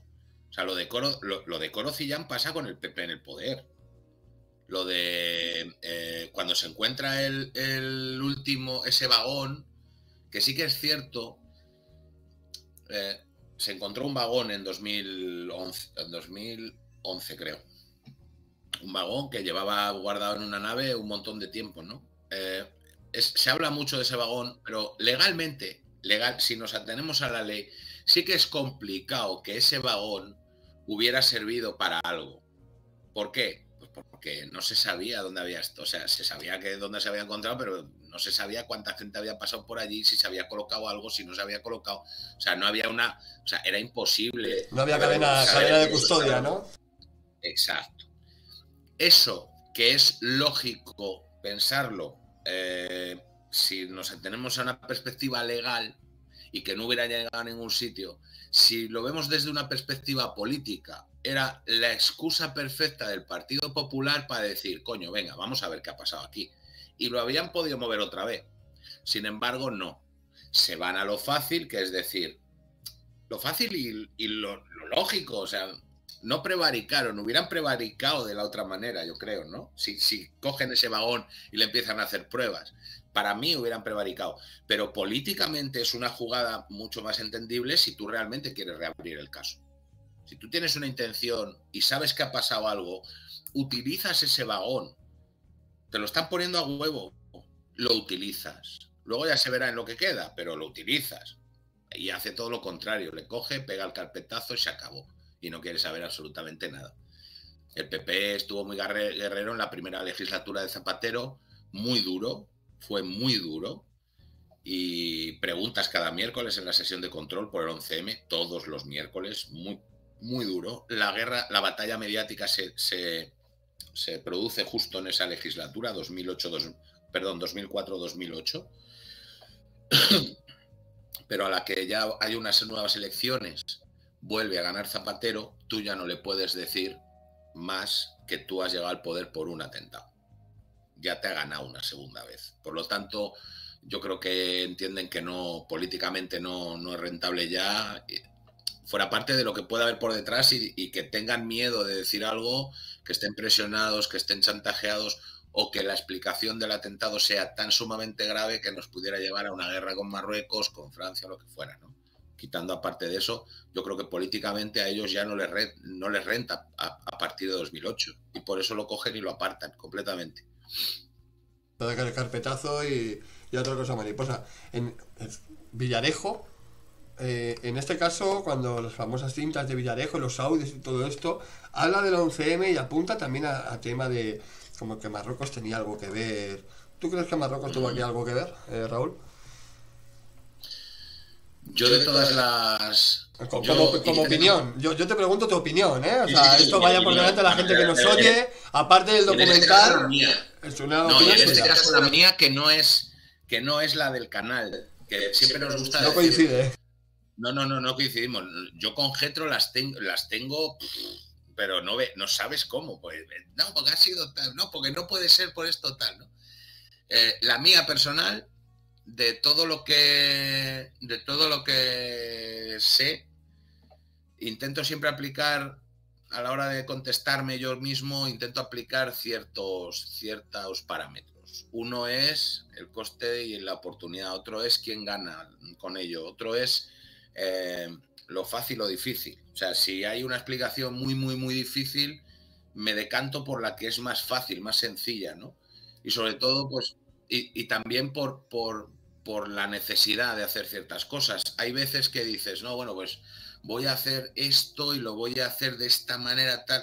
Si tienes una manera más fácil de hacerlo, y estamos hablando de, gente, de instituciones, de partidos políticos que no son tontos, eh, todas estas mm, cosas las analizan un montón y, ven todos los caminos a seguir y saben cuál es más fácil y cuál es más menos, más viable o menos si hay una explicación más fácil, yo me, me decanto por la más fácil. Con todos esos parámetros con los que yo mm, me hago mis análisis, a mí la teoría de que la idea primera sea de Marruecos-Francia es la que menos fisuras me genera, que me las genera. Yo no, yo no, yo no estoy en disposición de decir, estoy seguro que ha pasado esto. O sea, ni tengo papeles, ni tengo información confidencial, ni gaitas, pero es que ni siquiera mi análisis, yo no puedo ser, si quiero ser honesto conmigo mismo, yo no puedo decirte que estoy seguro que pasó una cosa o la otra.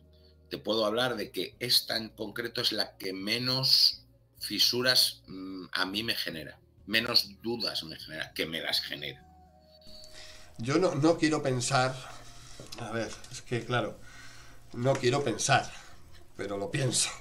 No quiero pensar que sea nuestro propio gobierno el que, mediante Gladio, etcétera, haya podido. Pero no estaríamos hablando de gobierno, estaríamos hablando de Estado. Claro, ¿no? claro, exacto. exacto, sí, mejor no, no, quiero pensar que el, Estado, que, nuestro, que el Estado del bienestar, este que nos protege, haya podido llegar a hacer eso. Yo, yo me inclino más con que fue algo exterior, pero eso, eso, eso, eso, es muy naif. Eso es muy naif. Es que no. Decir, no, no, no, no, puedo. Es que, yo sí, ¿eh? No, no, no que no lo vea capaz, digo que no quiero pensar, no quiero pensar eso. Ah, vale, bien. No, prefiero decantarme, eh, no, he terminado, prefiero decantarme con que ha sido algo exterior, pero claro, de ahí es donde, donde quería, quería entrar. Pero es que todo me indica que no, todo me indica que no. Todo me, no sé si será la red Gladio como tal. No, no creo, sin embargo discrepo contigo, no creo yo que aquí Marruecos tenga nada que ver por lo, por lo poco, porque conozco el 50% a lo mejor o el 20% de todo lo que tú conoces, pero no creo yo que, Marruecos haya llegado a esos extremos porque tiene otra manera de hacernos muchísimo daño sin necesidad de, hacer esto. Tampoco creo que... el año, ¿verdad? Igual menos. Pero ¿y Francia qué? Hay que, hay, que explicar quién es Francia, a lo mejor. Hombre, son... Francia, Francia manda unos comandos... Bueno, presuntamente y en Minecraft. Presuntamente y en Minecraft, Francia manda a Australia a unos comandos especiales para que pongan una bomba en el Rainbow Warrior, el barquito de colorines de Greenpeace. Y, lo, y le ponen una bomba a, Greenpeace, colega. Y eso lo hacen los franceses porque les estaban tocando los cojones. Sí, lo quiero decir, es evidente que son capaces de hacer este tipo de cosas. Por, supuesto, pues porque ya lo hemos visto.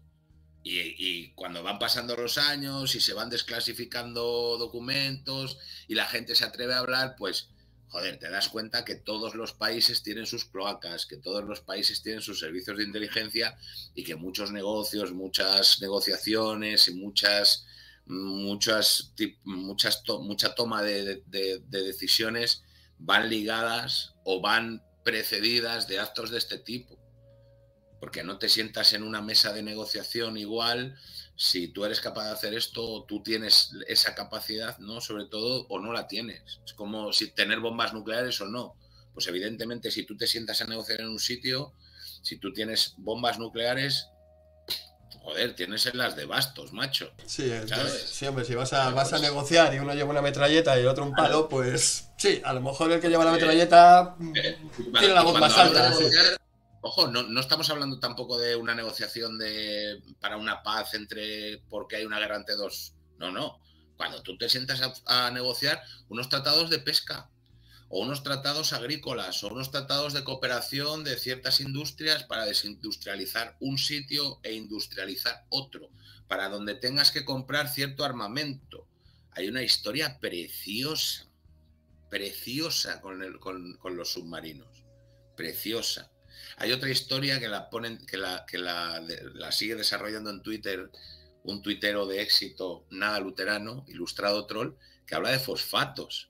Joder, tú a ti te vienen y te dicen, ¿tú sabes lo que son los fosfatos?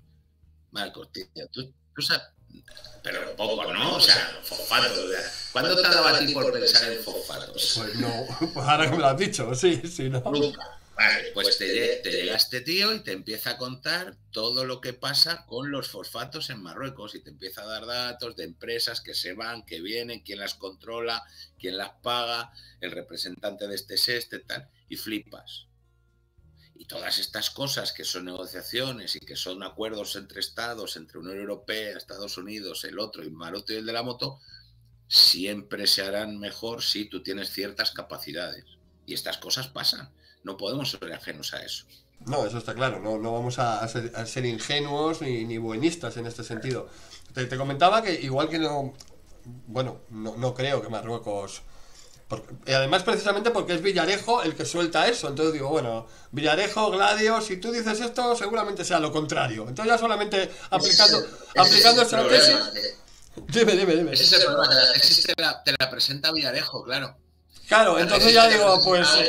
Es cuando Antena 3 me dice esto blanco, digo, espérate, que a ver si voy a ser yo daltónico y, va a ser un poco negro. Sí, sí, sí.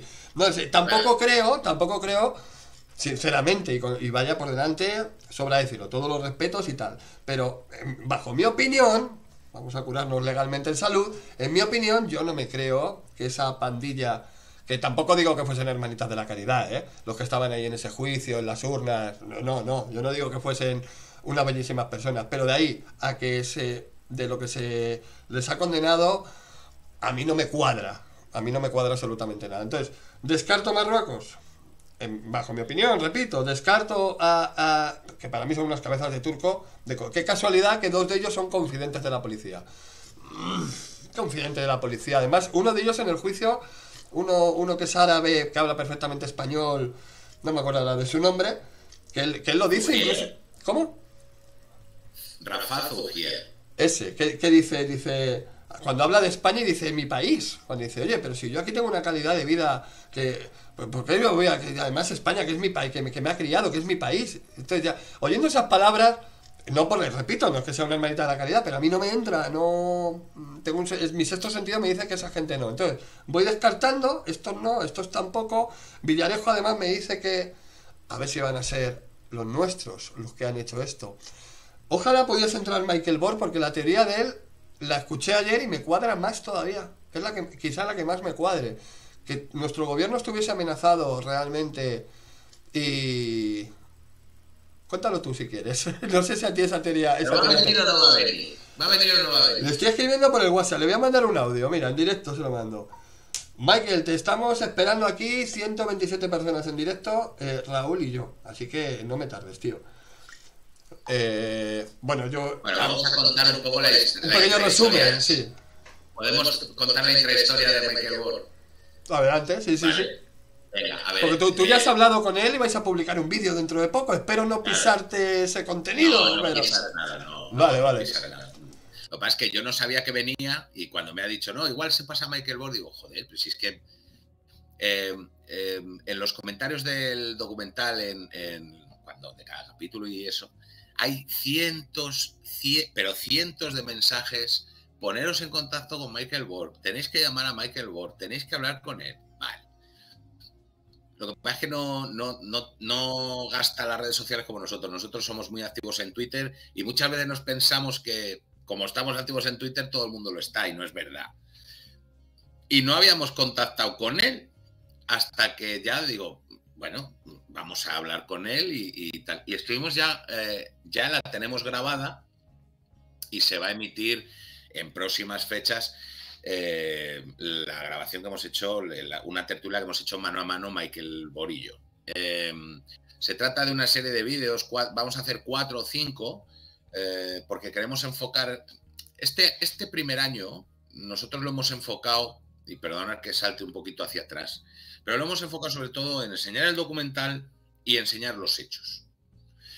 Eh, hemos estado durante todo el año, habremos ido a unas 30 entrevistas por lo menos. Hemos estado en la radio, en la tele, allí donde nos han llamado, grande, pequeño, mediano, hemos ido. Porque nosotros hemos hecho esto pues, para que se sepa y, y, contra más gente nos vea mejor porque se va a entrar en el tema. Y durante todo el año hemos dicho, nosotros lo que hemos hecho es hechos, hechos, hechos. Vale, ya hemos, ya hemos puesto encima de la mesa todos los hechos. Y como queremos seguir que se siga, como queremos seguir hablando de todo esto, porque este año prescribe y queremos seguir haciendo ruido para que no prescriba, entendemos que hay que dar otro tipo de, enfoque al asunto para que la gente no se aburra de nosotros, siempre contando lo mismo. Y vamos a hacer un, vamos a este año a dedicarlo a pensar qué pudo haber pasado. Nosotros creemos que el atentado hay que dividirlo en dos partes. Una, lo que pasa antes de las bombas, quién lo idea y quién lo ejecuta. Y otra, muy diferente, lo que pasa después de las bombas, que es toda esa trama política, policial, mediática que nos lleva a lo que acaba desembocando en la sentencia de, la Audiencia Nacional. Entendemos que si no quitamos primero ese ruido y creemos más o menos que con el docu queda claro dónde está ese ruido, creemos que sin quitar primero ese ruido no vamos a poder empezar a hacer las preguntas correctas. Por lo tanto, este año vamos a dedicarnos a ir un poco por los sitios, primero luchando por la no prescripción del caso y luego vamos a intentar analizar esas teorías que han ido saliendo durante todos estos años. Y Dentro de eso vamos a sacar una serie de vídeos, cuatro o cinco, ya te digo, no, no está todavía, no lo tengo todo muy claro. Y el primero va a ser Michael Bohr. Entonces, la serie se va a se, la hemos llamado El abogado del diablo, el abogado del diablo seré yo. Y lo que vamos a hacer es traer a alguien a que defienda o que explique su teoría o como él lo ve, y yo le iré metiendo el dedito en el ojo y le iré tocando un poquito los huevos y decir, no, pues esto no puede ser por tal, y esto no puede ser por tal, o esto cuadra más lo otro y tal. Vamos a ver si de esa manera, o sea, poniendo yo, poniéndonos nosotros en el, en el lugar que se tendría que haber puesto mucha gente con nosotros, con el docu que no se ha puesto, a ver si así conseguimos ciertas respuestas. Porque otra de las cosas que nos ha llamado mucho la atención es que nadie se ha puesto en contacto con nosotros para decir, oye, no tenéis razón. Y no tenéis razón por esto, por esto y por esto. Es que es imposible. Es imposible, Raúl, que nos digan eso, porque lo que hemos dicho antes, dais datos. Entonces, los datos no se pueden falsear. Bueno, a ver, se pueden falsear, pero te pillarían enseguida. Entonces, ¿cómo? No, Eso no puede pasar, sí, sí. Claro nos pasan cosas como la de ayer o antes de ayer, que viene una chica pelirroja que dice que trabaja en Indra y que somos farcista y que somos no sé qué, eh, neofarcistas disfrazados. No, perdón, señorita, de disfrazados nada, eso para empezar. Entonces, eh, te dice que todo lo que hemos contado es conspiracionista, elegías, tal. Coño, la cogí por Twitter, la invité a venir al canal. Si tú eres una experta en estos temas y si tú lo que estás es luchando con el contra el fascismo, coño, te están invitando a una cueva de fascistas. Si lo tienes tan claro, bonita, ven, ven aquí. Y yo te voy a hacer cuatro, cinco, seis, diez preguntas y tú me las contestas. Me las rebates. Mejor oportunidad que esa no vas a tener. Bueno, pues eso no ha existido. Nos, se puso en contacto con nosotros Sánchez Manzano, el de Telas y acabó vendiendo su libro. No quiso venir. No, no, yo todo lo que. Todo, todo está en mi libro. No, no, pero es que en tu libro no están las preguntas que hacemos nosotros. O sea, vente y si, si, usted quiere, tiene usted la. Nos hacemos, le dijimos, le hacemos una entrevista. Eh, se la grabamos, pero no lo tocamos. O sea, nos comprometemos a que de principio a fin lo que grabemos lo ponemos. Eso es lo, como hemos hecho todas las entrevistas. Coño, eh, no, ahí tienes el libro. No, hombre, es que en el libro no están las preguntas que hay que hacer, macho. Bueno, pues de eso, como no hemos tenido, como no hemos tenido a nadie que venga y nos haya intentado rebatir con argumentos, que seguro que los hay, bueno, pues eh, vamos a hacerlo nosotros. o sea, volvemos a tener que hacer el puto trabajo ¿eh? de toda esta chusma que no quiere hacer su trabajo. Bueno, pues vamos a tener que intentar hacer su trabajo intentando poner contra las cuerdas nuestro documental y todas las tesis que hay por ahí. Vamos a intentarlo a ver qué sale. Eso. La primera de estas. ¿Qué te parece la idea? Pues que, eso es lo bonito, además, porque estamos acostumbrados al, permíteme la expresión, bueno, contigo sí que puedo hablar así, al comepollismo de las televisiones y de muchos otros canales, también en YouTube y también en Twitch, que es retroalimentar lo que nosotros pensamos cuando lo bonito es eso, oye, yo quiero hablar con alguien que piense diferente. Claro, para encontrar a alguien que piense diferente y además luego con educación, pues ya a lo mejor tampoco es tan fácil. Porque cuando entras en ciertos temas, debatirlos con educación, encontrar a gente educada que te lo debata es complicado. Pero yo creo que vosotros, por lo poco que he visto vuestro, he visto contenido, no he visto todo, pero he visto contenido. Yo creo que es un sitio donde se puede entrar a debatir y que no os coméis a nadie. No, no a nadie. Me está llamando Michael Dame. Ah, mira, mira. Espera, que me está, me está llamando un segundito. Michael, dime, ¿me pillas en directo? Ah, que ya está, vale, espera, dame un segundo. Que me ha, ay, ay, que viene. Le tenemos. Ay, que viene, que viene. Eh, eh, que viene, que viene. Le tenemos aquí en. Se supone. Todavía no ha entrado, a ver. Ya estoy. Bueno, antes de que entre, antes de que entre voy a decir una cosa que me pareció muy bonita que me dijo Michael el otro día en la grabación. Y me llega y me dice, eh, me dice el cuco, joder, no me había venido nadie nunca así. Claro, claro, no te habían venido nunca así porque el que te viene a refutar algo de esto no tiene por dónde agarrarte porque no tiene ni puta idea de lo que está hablando. Claro. Entonces, porque para refutar esto hay que saber, coño.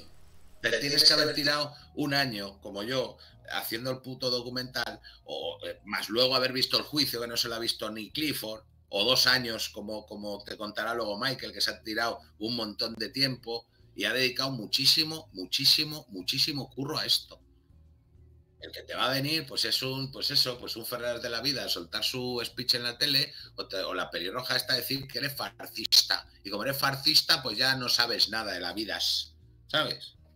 Cuando, cuando, cuando empiezan a poner etiquetas, digo, digo, ya empezamos. Digo, oye, yo lo digo muchas veces, digo, oye, organizado, poneros de acuerdo. Ya que me vais a poner la pegatina, poner, ponerme la misma. Cabrones, que llevo la cara llena de pegatinas. Uno que si soy de Podemos, el otro que de Vox, el otro que, que si fascista, comunista. Me han llamado, yo creo que todo el abanico, hasta, hasta, hasta, hasta ser, como me dijeron el otro día, Tú eres de, los de la, de los de la acera de enfrente. Digo, hostia, tío. Digo, ah, estamos para empezar, estamos en el año ya 2023.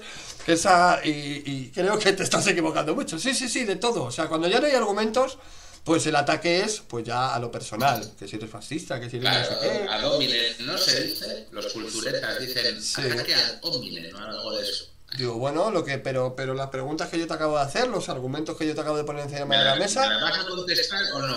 Sí, no, no, no. Y, ya el último de los últimos es, bueno, seguro que te paga alguien para que digas eso. seguro que eres del CNI, digo, sí, del FBI o. El yunque, el yunque, tío, nos paga.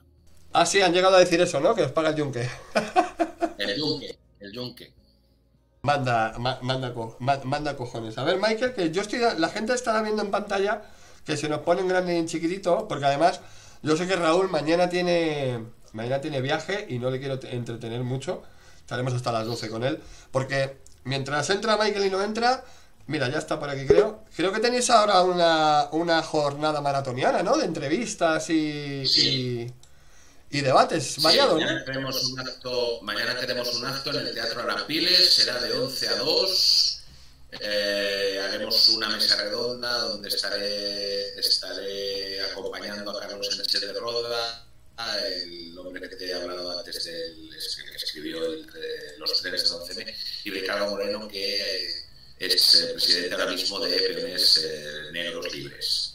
Eh, luego habrá una segunda mesa donde explicaremos todo el tema de la prescripción, un poquito más técnicamente. Estará Ángeles Domínguez, ahora mismo es tesorera de, una de las asociaciones de víctimas, y después pues nos iremos a comer a donde Jaume, donde Jaume vives, al Frankfurt Moncloa, un gran amigo, muy, muy buen tío, y pues, eh, comeremos unas salchichitas por allí, unas cervecitas, haremos comunidad, haremos grupo, y yo a las 7 me vuelvo corriendo en el otra vez, porque tengo entrevista el sábado, entrevista el domingo, entrevista el lunes, entrevista el martes, tenemos toda la semana y bien, bien. Si a un interesado medios, va funcionando la cosa. Es lo que tiene hacer las cosas bien, que le llama a la gente. Bueno, sarna con gusto no pica, dicen.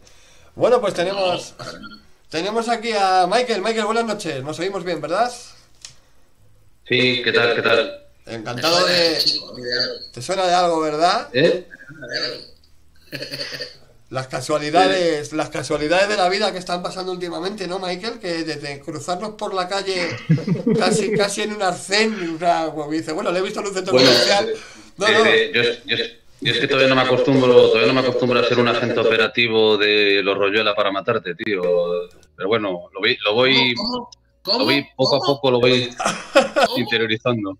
Sí, no. ¿Eres un agente o sea, ¿eres un agente de los Royuela para matar al Marco? No, no, te, te, comento rápidamente. Es, es, que el día que yo me. Te, pues, pongo en pues contexto. o sea... en, en, dos minutos te explico. Mira, ese, yo a Michael le conozco de verle en vídeos, pero. Y de dejarle un día un comentario muy desafortunado que le dejé yo en uno de sus vídeos. Y ya, o sea, no, no, no hemos, es la primera vez que coincidimos en un directo. Bueno, pues yo ese, ese mismo día, no, el anterior, había tenido una movida muy gorda con los Royuela. Hasta el punto de que llegaron a insinuar que si sabían dónde vivía. Y me dijeron una frase, que todo eso es mentira, no saben dónde vivo ni nada. Pero bueno, yo me, lo estaba tomando a broma hasta que me dijeron, dice, no, es que la, un amigo de, de, de un amigo, un amigo de un amigo me ha dicho dónde vives. Bueno, ahí queda la cosa. Yo no salgo nunca de casa, Raúl, salgo muy poquito, salgo a comprar tabaco y lo tengo todo aquí, gracias a Dios, vivo bien y no necesito. Y ese día salí a dar una vuelta por un sitio por el que no suelo pasar por una carretera que tiene un arcén, de, o sea, una acera, no es un centro comercial. ¿Y a quién me encuentro? A Michael Bohr. Digo, entonces, un, en mi cerebro. En pantalón corto, con las bolsas de la compra. Claro, que y, le vi. bueno, unas pintas de agente operativo del copón, solo me faltaba el periódico, la gabardina, pero bueno, lo demás lo tenía. ¿eh? Las bolsas de la compra y las botas sin atar y los pantalones cortos, eso, eso sí lo tenía. claro, pero. El atuendo normal de un agente operativo. Mi cerebro en ese momento hizo. Dijo, ¿cómo? El amigo de un amigo. Digo, a ver, Michael Borg, tenemos amigos en común. Y me lo cruzo en Cantabria en el sitio más remoto del mundo, digo, y, y, le saludé. Y claro, él, me, claro él, no, él notó que yo no estaba, que no estaba yo muy amistoso, tampoco nos, no pasó nada más. Y bueno, pues fueron las, y las, casualidades de la vida hacen que diga, oye Michael, ¿quieres venir hoy a hablar eh, esta noche? Y me dice, pero si hace dos días he hablado con él, digo, bueno, pues más casualidades de la vida, nadie por suerte no me quiere matar. Y entramos en materia, Michael, porque... Bueno, sí, casi, casi nos curramos ahí en la calle. O sea, es que fue... Claro, como él había puesto un comentario, a él le habían dicho los rollo al otro, es que había, es que o sea, fue una casualidad absurda que encima nos encontramos por la calle, me reconoció, yo no le había reconocido porque yo no suelo ver canales de YouTube, yo, yo la verdad me gusta ir a fuentes directas y no suelo ver canales de YouTube y sin embargo, pues mira, pasó esta casualidad, me reconoció él, yo pensé que me, que me saludaba porque le gustaba el canal, que me pasa a menudo, que me, bueno, de vez en cuando, que alguien me reconoce, ah, mira, me gusta tu canal, me ha hecho una risa, no sé qué y tal. Y claro, la gente suele ser, suele gustarle, ¿sabes? Cuando te saludan es porque te quieren dedicar algo cariñoso y tal. Y claro, cuando me dice, no, yo soy Nostra TV, y digo, joder, pues eres un cabrón, tío. Yo ahí caí en el comentario, yo ni me acordaba, y, digo, y le pedí perdón, digo, hostia, tío, lo siento, y quería, yo intentaba tener una conversación con él, pero él estaba a la defensiva, como es lógico, porque oye, tío, tú me dejaste un mensaje que vete a tomar por culo. Y yo tenía en la cabeza... Es que, además, es que no ha sido el único, es que, es que si hubiera sido el único, pues bueno, pero es que ha habido más gente que a raíz de lo, de, que lo, lo del asqueroso de frontera, en Madrid, es que esto igual no lo sabes tú, pero eh, bueno, es que hubo un problema en Madrid con un famoso youtuber, Miguel Frontera, que me, trajo a 15 porteros de discoteca búlgaros de su hermano a darme una paliza, ¿sabes? O sea, habíamos quedado para un combate de boxeo él y yo, y, bueno, apareció con una pequeña ayuda extra de 15 porteros, ¿sabes? Y bueno, pues a raíz de eso empezaron a surgirme trolls también en el canal que me decían que, que por qué no me atropellaba un camión mejor y cosas así. Y bueno, nosotros, nosotros, se quedan las cositas estas en algún troll que viene y eso viene alguno. Pero los, los toreamos, le pegamos cuatro horas cambiadas y fuera tampoco. Pues, pues no te juntes con gente como Frontera o como Nostra porque te, te vendrán los males, tío. La violencia empezará a rondar tu canal. Los malos nos vienen, ¿eh? No, pero los malos nos vienen. Yo, yo cuando, cuando, cuando me equivoco, lo... Ostras, me acuerdo una con Iglesias que me, citó el hijo de la gran puta por, por Twitter así, encima de la traición, de con captura para no verlo yo y tal. Fue la que me dieron dos días, colega. Ahora eso sí, todo el que vino, todo el que vino, se llevó, la, se llevó su ración. No dejé de contestar a ni uno. Pero bueno, eh, que son cosas. Pablo Iglesias, Pablo Iglesias. Sí, sí, sí, Iglesias. No sé qué, que no, tenía ni puta idea quién era el, el director de The Wild como si tuviera yo que conocerme a todos los directores de Hollywood, ¿sabes? Y no sé. Lo que le tienes que decir, ¿sabes lo que le jode a este? Dile que es, dile que es una mujer, que es verdad, que es un transgénero, y entonces le, con eso le matas. O sea, como le digas eso, es como si le estuvieras disparando con un bazooka. Pero bueno, yo que. Ah, mientras dile que estás con la regla, dile, dile eso y le, destruyes, tío. bueno, movidas. Por cierto, por cierto, una gran animadora en el 11 Una gran animadora. Estuvo por ahí animando. Eso dice él. Yo creo que sí. Animadora fue. Animadora. ¿Eh? No sé. Estando Alfredo por ahí, este no era más que el machaca. Este era el que escribía los mensajes, quizá, y ya está. Hombre, este, este era este era pues un agitador de estos que necesitan las, las, los servicios secretos para movilizar al personal. El machaca, un machaca. Sí, sí, él luego se atribuyó que se inventó en un programa con Gabilondo, se atribuyó pues que ese efecto flash mob, ¿no? porque encima va de culto, eh, que, que, que, que, había conseguido congregar a todas esas muchedumbres, los cojones, no se lo cree ni él, eso fue el propio CNI. ¿Tú te acuerdas, Michael, cómo, o sea, te acuerdas del caso, o sea, a ver, eh, llega a manos del CNI una maquinita, una maquinita, cuando empiezan los teléfonos móviles, que controla un montón de millones de teléfonos. ¿Os acordáis de aquella maquinita? Yo me acuerdo, bueno, de esa no, pero me acuerdo de otras, pero de esa no, de esa creo que no. Eh, hay una, maquinita y, los SMS salen de esa maquinita y esa maquinita la tenían guardada, no, la tenía ni siquiera la tenía el gobierno de turno. Esa, maquinita estaba guardada todavía sin, en, pruebas, digamos que estaba en pruebas y la debieron probar un, vamos, que la probaron un, un 12M, un 12 de marzo como podrían haberla probado en agosto pero de, todas formas, teniendo bases, teniendo las bases de los partidos, que en ese momento los partidos tenían bases de cojones, porque el PSOE tenía bases de cojones, Izquierda Unida, todos tenían bases, no es muy difícil que ya que estaban todos puestos de acuerdo en un golpe de Estado contra el gobierno, ¿no? Pues decirles a cada uno lo que tenían que mandar, joder, lo van a mandar. Si, cada delegado de juventud... Técnicamente, es muchísimo más fácil meter, meter el texto en la maquinita y que la maquinita coja y ah, pegue. bueno. Lo que, sea, lo que se ve ahora con, con las multimenciones, todas estas historias, que va todo por voz y va todo por ordenador, eso es, son, es el germen de, el germen de todo de eso, las, las maquinitas aquellas. Sí. Pues, eh, eh, por cierto, bueno... Bueno, yo, no puedo estar mucho, ¿eh? No, no, puedo, no puedo estar mucho. O sea, otro día, si queréis, hacemos un programa sobre esto, porque es que, es que hoy he tenido mucho ello. Además, os, voy a anunciar una primicia, porque le dije a Marcos que quería anunciar una primicia para que viera que, que realmente no le guardo rencor por haber, por haber sobrevivido a mi, a mi ataque.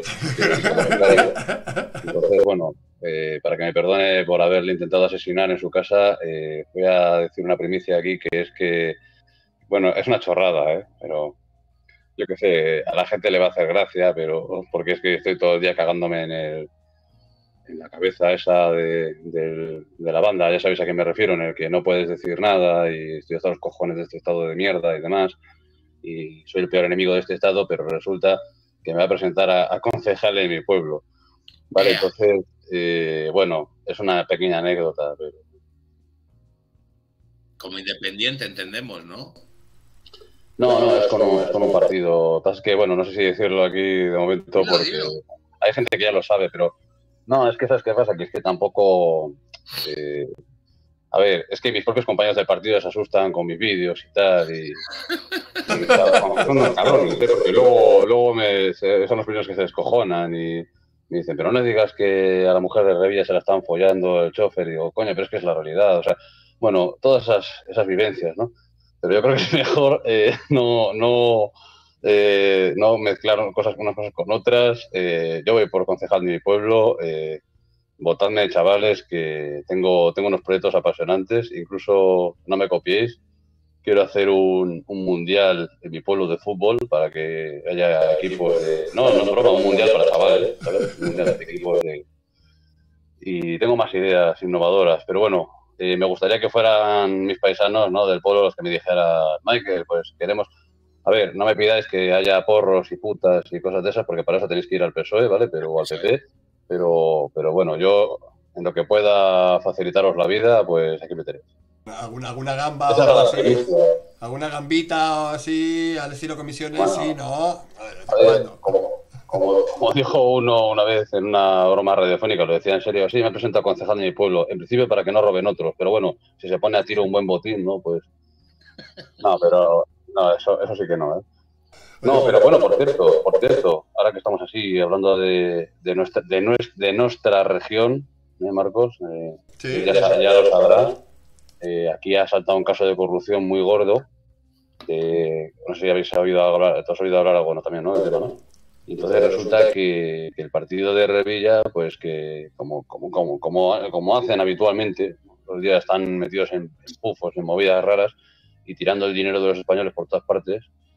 Y resulta que, que, han, que han pillado una trama de corrupción de un funcionario que además no se ha cortado un pelo, o sea, no solo es que estaba robando, parece ser, sino que encima estaba vamos, declarando unos ingresos imposibles de declarar. Es que encima lo declaraba el, idiota. Y bueno, les han trincado y tal. Y al consejero de turno, de que, supuestamente no se ha enterado de nada, pues le van a hacer el, domingo una merendola a las 2 de la tarde también pagado con nuestro dinero, porque lo ha hecho de maravilla, ¿sabes? O sea, increíble, increíble lo que está pasando aquí. Os voy a preguntar una cosa yo, fuera, estamos ahí ya distendidos. ¿Es más grave que te robe un concejal del pueblo o que el gobierno de turno te presione de tal manera para que votes ciertas cosas en, en Madrid y si no lo haces te saque todos los trapos sucios que tengas? claro, es que, es que probablemente haya algo de eso por ahí detrás. Evidentemente, es que eso, eso también lo he pensado, es que lo primero los trenes, ahora esto. Joder, qué cosa más rara, ¿sabes? Se le es que Revilluca se le ha puesto un poco de nalgas últimamente al niño, ¿eh? Y el niño ha dicho, ¿cómo? Espérate, te lo voy a explicar. Uy, qué casualidad. Si tienes un caso aquí de. ¿eh? No, a ver, también te digo una cosa, Revillo no es, no es difícil sacarle mierda, ¿eh? Ah, bueno, pero, pero eso, eso está un poco descontado, yo creo, ¿no? En el sistema que tenemos es imposible, yo creo que no, que además, ¿cuánto lleva Revilla por ahí? La eso te iba a preguntar, ¿cuánto, tiempo lleva Revilla? Yo es que llevo en Cantabria viviendo cuatro años, ¿eh? Yo soy de Madrid. Eh, y me vine aquí a, Santander hace cuatro años. Pero ¿cuánto tiempo lleva Revilla gobernando en esta, en esta comunidad?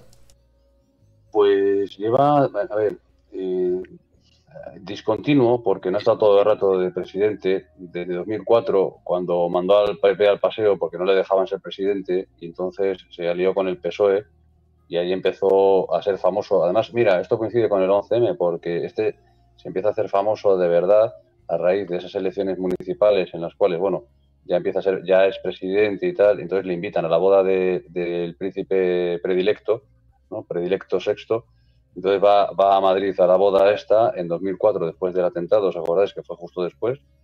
Porque eso claramente se programó para restañar heridas, o sea, estaba programada de antes, estoy seguro, o sea, no, no creo que sea casual, ¿vale? Porque me parece mucha casualidad que dos meses después del gran atentado este, este señor se está casando allí con la, con la señora, ¿no? Me parece un poco... Y bueno, pues ahí en esa boda hubo una serie de anécdotas un poco estúpidas de este personaje, que me hizo gracia pues que por ejemplo decía que iba a mear allí con Felipe González y que apareció uno con una espada muy grande, bueno, tonterías así, ¿no? O sea, encima le regaló una campana, a ver quién cojones regala como regalo de boda a nadie una puta campana, ¿sabes? Aunque aquí en Cantabria hacemos las mejores campanas de, España, pero o igual del mundo, pero coño, no es para regalar una campana, joder. no sé, no, no, ese detalle no se le ocurrió otra cosa y, entonces se hizo famoso porque, claro, comentando esas tonterías y luego los viajes a Madrid con las anchoas y tal, pues este, este es un hijo del zapaterismo, o sea, este empieza con zapatero, digamos, a ser famoso haciendo, no, no, no, haciendo estas El, el Revilla viene, esto, eso te iba a decir, viene de la ah, A ver, a ver, a ver, a ver, estamos hablando, a ver, estamos hablando de, de famoso de verdad, en toda España, ya le conocíamos, pero era un personaje menor. Lo que pasa es que se metió en el papel de payaso y ya nunca lo abandonó. O sea, se metió ahí y dijo, bueno, pues ahora anchas Castilla y soy el payaso del régimen y nadie me puede quitar el puesto, porque es imposible. Pero, pero en el gobierno, en, bueno, en el gobierno de, presidente que lleva dos legislaturas. No, lleva, a ver, lleva por lo menos, que yo sepa, hubo, hubo una por lo menos que estuvo en la oposición, que ha sido, pues hace pocos años, ha sido hace, pues ha, sido, pues la, es que me lío un poco, la anterior, no, la anterior creo que fue. Yo creo que desde 2004 que hablas tú, o sea, ha estado en la oposición una legislatura, así que tiene puede ser, puede ser, sí. Pero bueno, en cualquier caso, en cualquier caso este no pinta nada, ¿eh? o sea, este está aquí como un pasmarote. Este lo único que hace es que hace el payaso, va a los programas, hace el idiota, le usan todos los partidos, todos, para tapar casos de corrupción y demás. Y bueno, y ya lo, último, o sea, llega a tal punto la impunidad de estos personajes que hacen, o sea, el tío este que te digo, que es consejero, que está supuestamente metido en esta trama de alguna manera, tanto como corrupto, como, o a lo mejor como tonto, que no se enteraba de nada, ¿no? Pues este señor que se llama Gochicoa, si no estoy mal, pues le, van a hacer un homenaje el domingo a las 2 de la tarde, lo digo por si alguien al lado del campo del Racing, es, el, es donde va a ser, por si alguien quiere ir a, saludarle, ¿no? Porque van a, van a juntar ahí como a mil personas eh, a gastos pagos, o sea, prácticamente una comida de puta madre. Mira, Nostra, podríamos ir tú y yo a ver si nos da... No es broma, tío, piénsalo. Yo, si tú vas, yo voy. El domingo, euros, tío, vamos a comer como, como, como de puta madre, ¿eh? porque no es una comida de 10 euros, ¿sabes? O sea, eso está subvencionado y está muy bien. Vas a comer más barato que en tu casa, tío. Y, y, nos echamos unas risas. A lo mejor no se dan cuenta y entramos, nos ponemos una boina y se piensan que somos de algún pueblo y me, me lleva la gallina, me, lleva la gallina en el brazo aquí debajo del brazo, igual. Sí, sí. sí, No, no es broma, ¿eh? eh yo creo que deberíamos ir. Eh, ya, lo, ya lo haremos, pero, pero te digo que, que es que, ¿cómo es posible que este tío creo que ha dimitido hoy y el domingo le están haciendo una comida? Es que no me jodas, o sea hay que hacer la comida entonces, si no la tiran, joder, o sea, tendrán que comer por lo menos. Pero mil personas. Pero, no pero si quieren entrar a mil garrulos, tío, es que es acojonante, o sea. Bueno, nos quedaremos hasta el final. igual, igual al final es cuando es cuando viene la sorpresa de, de la reunión, ¿no? Bueno, no, eso es el PSOE, no, vale, vale, vale. En los postres sí. Va a venir, va a venir Ábalos con un cortejo de, de putas, tío. Bueno, lo que te iba a decir que yo creo que deberíamos presentarnos por allí y, a ver si cuela, tío. Joder, imagínate que entramos, tío. Pues no, no descarto.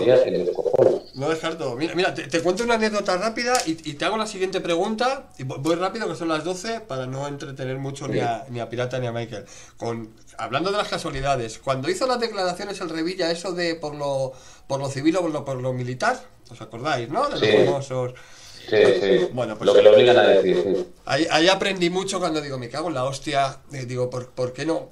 Seré, seré más, más frío en estas cosas. Eh, dice eso y en mi mente, pues lo que vienen todos. Hijo de puta, si te tuviese delante lo que te diría. Me voy a comprar a Lupa, un, supermercado que hay cerca, más o menos cerca de donde nos vimos. Hay, hay una cafetería enfrente y sale casi, casi la atropello porque tuve que frenar. ¿Quién era? El Revilla. Digo, no me No jodas. Hubo, hubo, hubo cinco. Hubo, cinco segundos. Había, había, pimplado y claro. Era, era una, una, cafetería que al parecer está, es muy conocida por aquí y la, la reina, como que la reinauguraban. Había estado cerrada mucho tiempo y la reinauguraban. Y, y fueron como. A mí se me hizo eterno. Pero serían tres o cuatro segundos que nos miramos a los ojos y por la cabeza me vino el si fuese Michael Bora aceleraría, pero no, no, no lo voy a hacer. y, le dije, pase, pase, pase, pase. Y nada, pues la, anécdota simplemente. Bueno, anécdotas aparte y risas aparte, una pregunta rápida que era, era por lo que yo te quería preguntar, Michael, relacionado con lo que estamos hablando del 11M. Y, ya con esto ya, pues ya también vamos a despedir después a, a Tú tienes una otra teoría que hemos estado escuchando en, el directo que hicisteis ayer con aquí la, voz, aquí la voz de Europa. Lo hemos estado escuchando antes de, conectar con vosotros, hemos puesto la repetición de vuestro directo. Y tú tienes otra teoría, bueno, otra teoría, una teoría que yo no había escuchado nunca sobre el 11M, que es lo que estamos hablando, y es lo que comentaba antes Pirata porque claro, nos centramos en qué pasó el 11M, qué pasó después del 11M, pero tú ahí metes el dedo en la llaga que yo no, no, me había dado por pensarlo, es qué pasó antes del 11M. ¿Nos puedes hacer un pequeño resumen de qué crees tú realmente que pasó aquí en el 11M? Antes, antes o... Sí, bueno, lo que pasó antes que podría dar explicación a lo que pasó en el 11M, mejor dicho. bueno, pues muy fácil, pues que esto, esto no es un crimen, digamos que dices, lo ha hecho Funanito. Es que eso es el, error del 11M, es que todo el mundo dice, ha sido este, ha sido el otro. Y si son muchas muchas organizaciones juntas, ¿no? Muchos entes, digamos, vamos a llamarlo entes, de muchos tipos, ¿no? Y muchos tamaños y nacionalidades diferentes, actuando juntas. No estoy hablando de personas, estoy hablando de de organizaciones, de estados, de, eh, estructuras de Estado, ¿no? diferentes, incluso no solo nacionales. Entonces, yo hablaría de, de, que esto es un, atentado occidental, en toda regla. Es como cuando destruyen el Nord Stream. ¿Quién ha sido? Pues hombre, hay que pensar quién se beneficia de eso. Entonces, eh, lógicamente, yo siempre digo lo mismo. Digo, a ver, no, no han sido rusos los que han hecho esto, no han sido chinos, no han sido esquimales, no han sido árabes, no han sido peruanos, no han sido marcianos, ¿vale? Entonces, tienes que restringir siempre a que, bueno, pues que hay un grupo de estados ahí que son los que suelen dedicarse a hacer estas cosas, además, no es el único, no es su única fechoría, es que si te pones a, enumerar todas las fechorías de estos personajes, pues te salen muchos muchos genocidios, ¿no? Y no solo de ahora. Entonces, todo lo que había antes del 11M, curiosamente, era eh, unos precedentes más que nada de, ETA. O sea, cuando ocurre el atentado, además todos los jefes policiales lo dijeron, dijeron, es que estamos esperando un atentado de ETA, pero te lo dicen como si tú te digo mañana que estoy esperando que venga, eh, no sé, el autobús. O sea, es que va a venir fijo. Estaban esperando que viniera un atentado de ETA. dices, es que eso es rarísimo. Eso es que, más que esperarlo, es que está en un guion, ¿me explico? O sea, alguien te ha dicho que es que va a venir por cojones. Como si, bueno, como si fuera una especie de profecía, ¿no? Pero en realidad era algo más que una profecía, porque si lo piensas, hubo cuatro caravanas de la muerte antes, desactivadas, antes de ETA todas, antes del 11M. Y curiosamente la quinta, que es la del chino, que es ese famoso viaje del chino, ¿os acordáis? Del, del morito este que viene de Asturias, pasando por Santander, yendo por Burgos, o sea, hace una pedazo de L que flipas para ir a Madrid desde Asturias, que no tiene ningún sentido. dices, esto tiene que tener alguna lógica, ¿no? Hombre, pues la lógica es que, lógicamente, se supone que por el camino iba a coger unas mochilas, iba ya a ir hacia allí. Bueno, pero todo eso eh, es, una, es una parafernalia etarra. Hasta el morito ese lleva a ETA también, porque ese morito estaba fincado más que nada por, por Bilbao, estaba entre Madrid y Bilbao todo el día, y su, y su supuesto compañero de andanzas, también peligrosísimo, que es el de Malamari, también estaba instalado por Tudela, más que nada por la zona de Navarra y por ahí. Entonces, claro, si los únicos dos moros importantes que hay en esta historia, entre comillas, que no son importantes, pero bueno, les han hecho importantes, están relacionados con ETA, las caravanas de la muerte también llevan a ETA, coño, tienes que pensar que todos los precedentes eran, eran de eso. Encima el atentado se hace con las señas de identidad de ETA, porque el, explosivo no se, no se, investigaron todos los explosivos, pero la dinamita que sí se, es que explotaron más de un explosivo en los trenes y la dinamita que estalló en los trenes o que se encontró en los trenes era titadine con corón de detonante. Eso se sabía y en el juicio volvió a salir. Se sabía antes del juicio, mucho antes, el día del 11M se sabía, y en el juicio volvieron a decir, aquí hay componentes de la, de la, de la goma 2, del, del titadín, de la dinamita de ETA, favorita de ETA. Entonces, claro, ¿por qué el gobierno, teniendo todos esos datos, esos precedentes, que es que no tenían que hacer nada, es que ya la gente, todo el mundo estaba convencido de que iba a ser ETA, porque lo habían intentado un montón de veces en Chamartín, les habían pillado varias veces intentando traer explosivos desde, desde el País Vasco, o más que nada desde el País Vasco, desde Irún y sitios así, hasta Madrid. ¿Y por qué el gobierno de repente pone tanto interés, de repente, en que ese, en que ese atentado que iba a ser etarra de repente empieza a tomar un tinte islamista. Es el gobierno el que lo hace. Es Acebes el que viene con una mochila islamista. Ahora una, una cinta coránica. Ahora el moro del bazar, que os lo enseñamos para que veáis que es un moro y que tiene el pelo rizado y que es más moro que mis pelotas. Entonces, hay un momento en que dices, coño, ¿por qué tanto interés en presentar un atentado como islamista cuando eso se iba a volver en su contra?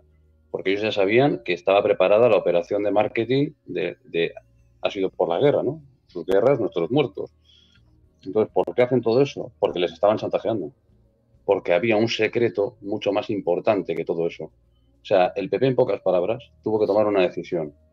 Era perder las elecciones para ocultar un terrible secreto, digamos, o intentar ganar las elecciones en esas 72 horas que pasan entre el atentado y las elecciones, intentar ganar las elecciones diciendo que ha sido ETA o que ha sido lo que sea, pero Claro, lógicamente, eh, con una amenaza muy clara, y es que al día siguiente iba a haber dos atentados más y les iban a echar la culpa a ellos también. Había previstos dos atentados más con horas y todo. O sea, les dijeron que antes de las 7 de la tarde y antes de las 7 de la mañana iba a haber más atentados. Y que todo, y todo eso iba a llevar al PP, iba a llevar a Aznar como responsables. Entonces, claro, tenían unas bazas, los, los verdaderos terroristas del 11M tienen unas bazas muy fuertes contra el gobierno. O sea, no, no, no negociaron, se impusieron, desobligaron al gobierno a un atentado que era completamente etarra, aunque es falso también eso, pero bueno, un, un atentado que era fácilmente vendible como etarra y que les iba a dar la victoria electoral, de repente se convierte en otra cosa manipulable por la oposición, el gobierno empieza a ser cercado, empieza en ellos mismos a mostrar unas pruebas que les que les meten en una cosa que es falsa, que es completamente una, una, una, invención todo, porque todo es mentira en esto, pero es una invención que les perjudica electoralmente. El gobierno llega a las elecciones ya muy tocado, muy humillado, como, como colofón. Encima les agreden en las manifestaciones, les rodean en sus sedes, más humillaciones todavía, el gobierno no puede actuar porque les están chantajeando, y entonces es cuando llegan a las elecciones, se llevan un palo tremendo, pero la amenaza no acaba ahí. Es que luego siguen amenazándoles, siguen, y de hecho aparece una mochila explosiva el día 2 de abril, mucho después del atentado, cuando todavía Aznar está en el gobierno en funciones, y es una amenaza clarísima, ese fue el ultimátum. Dijeron, la próxima mochila va a explotar. Entonces, un, tren AVE va a ser descarrilado. Entonces es cuando el gobierno se ve entre la espada y la pared y tienen que hacer la farsa de Leganés. No les queda otro remedio. Porque era sacrificar, es que vamos a ver, era hacer lo de Leganés, todo lo que hicieron en Leganés, que no falta comentarlo, o enterrar a 200, 300 pasajeros de un tren al día siguiente, otra vez. Wow, wow, bueno. Es una perspectiva diferente del tema que nos ha contado hasta ahora, porque nadie se ha tomado el interés de, acudir a unas declaraciones de los propios jefes de la policía en las cuales dicen esto exactamente, dicen es que estábamos, estábamos preocupados, estábamos, como te dicen, desesperados, porque sabíamos que iban a volver a atentar. Lo que no te dicen es que además de eso, estaban siendo chantajeados, eso no te lo dicen. Pero eso se nota por otras declaraciones que hacen. Wow. muy largo Sí, no, no, te, iba, a decir, Michael, que a ver si saca hueco para cuando tú puedas para otro día y desarrollamos. bueno, no sé, si mañana puedes, además, que mañana es 11M, yo mañana voy a estar aquí dando mucha caña. Bueno, tú cuando puedas me dices y pues, organizamos es posible, Es posible, es posible, y si quieres estar pirata también, pues confrontamos, porque. Pirata está liado. Pirata creo que está liado. Es que, es que, claro, son fechas conmemorativas de este tema. Pues si puedes, si puedes, Michael, si puedes mañana, perfecto, si no otro día, y desarrollamos esta, esta tesis que tú tienes y, y, con más tiempo y bueno, si puede venir más gente, mejor. Más que nada porque no, no quiero entretener más a Raúl. Bueno, Raúl, rápidamente. tranquilos, que me he la siesta antes de Pues, pues yo, yo, sí, yo sí que me tengo que ir, ¿eh? Así que os lo despido. Espero que os haya gustado, bueno, que os haya interesado Y, que, y, que, si Dios quiere habrá más. Sí, sí, sí, cuando quieras, tío, aquí tienes tu casa y ya tienes mi teléfono, o sea que cuando quieras volvemos a coincidir y desarrollamos esto que me interesa, tío, me interesa saber esa, esa versión con, con más detalles. No te bueno, es, es, más, es más que una versión, porque es que hay muchas pruebas. Es que, de hecho, tú fíjate, ¿cuándo ha sido la única vez en la historia de España en que se han sacado las tropas a la calle? Fue después del 11M, pero no, no, no fue antes de las elecciones, fue después de las elecciones, curiosamente. La única vez que ha vuelto a pasar eso ha sido con la pandemia, que volvieron a sacar las tropas a la calle. ¿Por qué? Es muy raro. O sea, cuando se saca el ejército a la calle es porque hay una amenaza militar. Y, se, y se sacaron 300.000 tíos armados a la calle, entre policías, soldados, guardias civiles y, la hostia. Eso fue el 18 de marzo, no fue el 11, ni el 12, ni el 14. Fue el 18, porque todavía la amenaza persistía. y, y todo acaba en Leganés. Entonces, ¿qué pasó en Leganés? Es la pregunta más, ¿qué pasó en el 11M? ¿Y qué pasa luego un mes después en Leganés? ¿Y por qué por el camino pasan una serie de cosas rarísimas, ¿sabes? Pero bueno, ya lo comentaremos. Perfecto, Michael, pues no te entretengo y, hostia, me dejas ahora con un montón de, dudas en la cabeza. Me las apunto aquí todas. Lo dicho, si puedes mañana siempre, siempre, que me ves, siempre, que me ves te creo una serie, una inquietud de la hostia. sí, tío, sí, es entre miedo y no sé, no sé, no, no, es broma. Lo dicho, ¿eh? Hablamos y y me quedo con la mosca detrás de la oreja, tío. Un saludo, bueno, gracias. y más pues, un abrazo a todos. Hasta luego, compi. Y Pirata o Raúl, ¿qué opinas, ¿qué opinas de esta, ya se lo has oído comentar, imagino, a Michael, de esta, bueno, versión, lo voy a decir yo versión con todo el respeto, pero la verdad es que me encaja, me encaja mucho lo que está diciendo Michael, no sé, no sé qué opinas. Es que es el programa que hicimos el otro día, o sea, el que tenemos grabado. Entonces. Eh, vale, vale, vale. Pues nada, breve, unas notas breves. en general, bueno, como hemos como, como te había contado antes, eh, eh, la, la, idea es que según venga gente como Michael a defender su tesis, que yo vaya intentando poner palitos en la rueda para ver si le hago caer, ¿no? Entonces, bueno, nos tiramos dos horas y media, dos horas y media eh, hablando sobre la teoría, sobre cómo lo veíamos, un montón de detalles y tal. Entonces, yo personal, mi opinión personal, esta la veo muy mm, muy enrevesada. O sea, veo más fácil otras cosas. O sea, él, él, él si mañana está contigo, te, empezar, te contará un poco cómo entiende él que van pasando las cosas. Entonces, yo lo veo muy enrevesado. Es más fácil pensar en otras cosas. Incluso si compramos su, su teoría como, como, como válida, eh, sobre todo por los móviles que él baraja, yo creo que hay cosas más fáciles de hacer que no plantar un, atentado y, ese chantaje después. Yo el chantaje no acabo viéndole porque no estamos hablando de que Aznar era un Orbán de la vida, ¿sabes? O sea, si esto pasa, si hoy en Hungría pasa algo parecido y, hay una operación que apunta a descabalgar al gobierno, coño, lo entiendes porque dices, joder, Orbán mm, toca los huevos pero en aquella época Aznar no le toca los huevos a Occidente. Le puede estar tocando los huevos a Francia.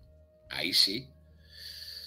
Pero a todo Occidente, yo ese, en ese, contexto no le acabo de ver.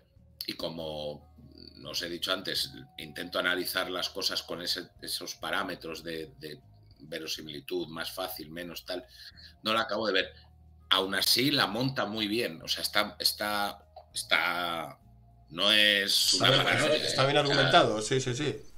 Sí, está bien argumentada y te la explica y, la escuchas, dices, pues podría ser, podría ser. Si no hubiera más teorías, podría ser válida. Al haber más, que, que a mi entender son más sencillas, yo le doy más verosimilitud a las demás. Pero vamos, a mí me gustó la charla que tuvimos mucho.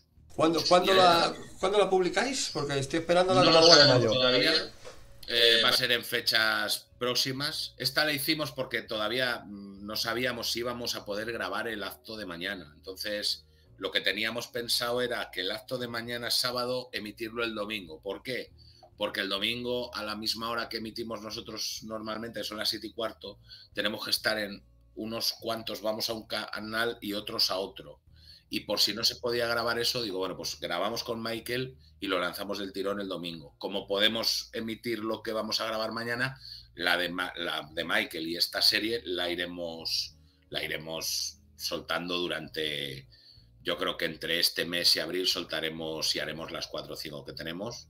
Y tocaremos esta, tocaremos la de los, la de si ha sido un, un asunto interno, si podremos tocar si ha sido ETA, hay gente que todavía mantiene que ha sido ETA, bueno, eh, Marruecos, Francia, hablaremos de ella también.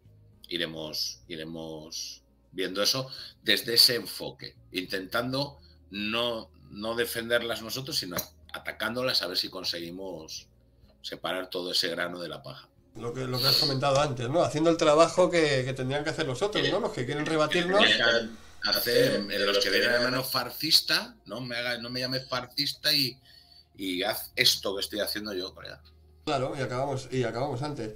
Pues nada, pirata, lo vamos a, lo vamos a dejar aquí, sí, porque mañana tenéis un jaleo de la hostia. No hace falta hacer promo, no hace falta hacer promoción de nada porque tenéis el aforo completo, sino, Sí, no, no, porque es que no, es que no hemos hecho promo. O sea, lo hemos o sea, lo hemos anunciado en el Twitter, lo, anunciamos hace 10 días o por ahí, y en dos días ya sold out.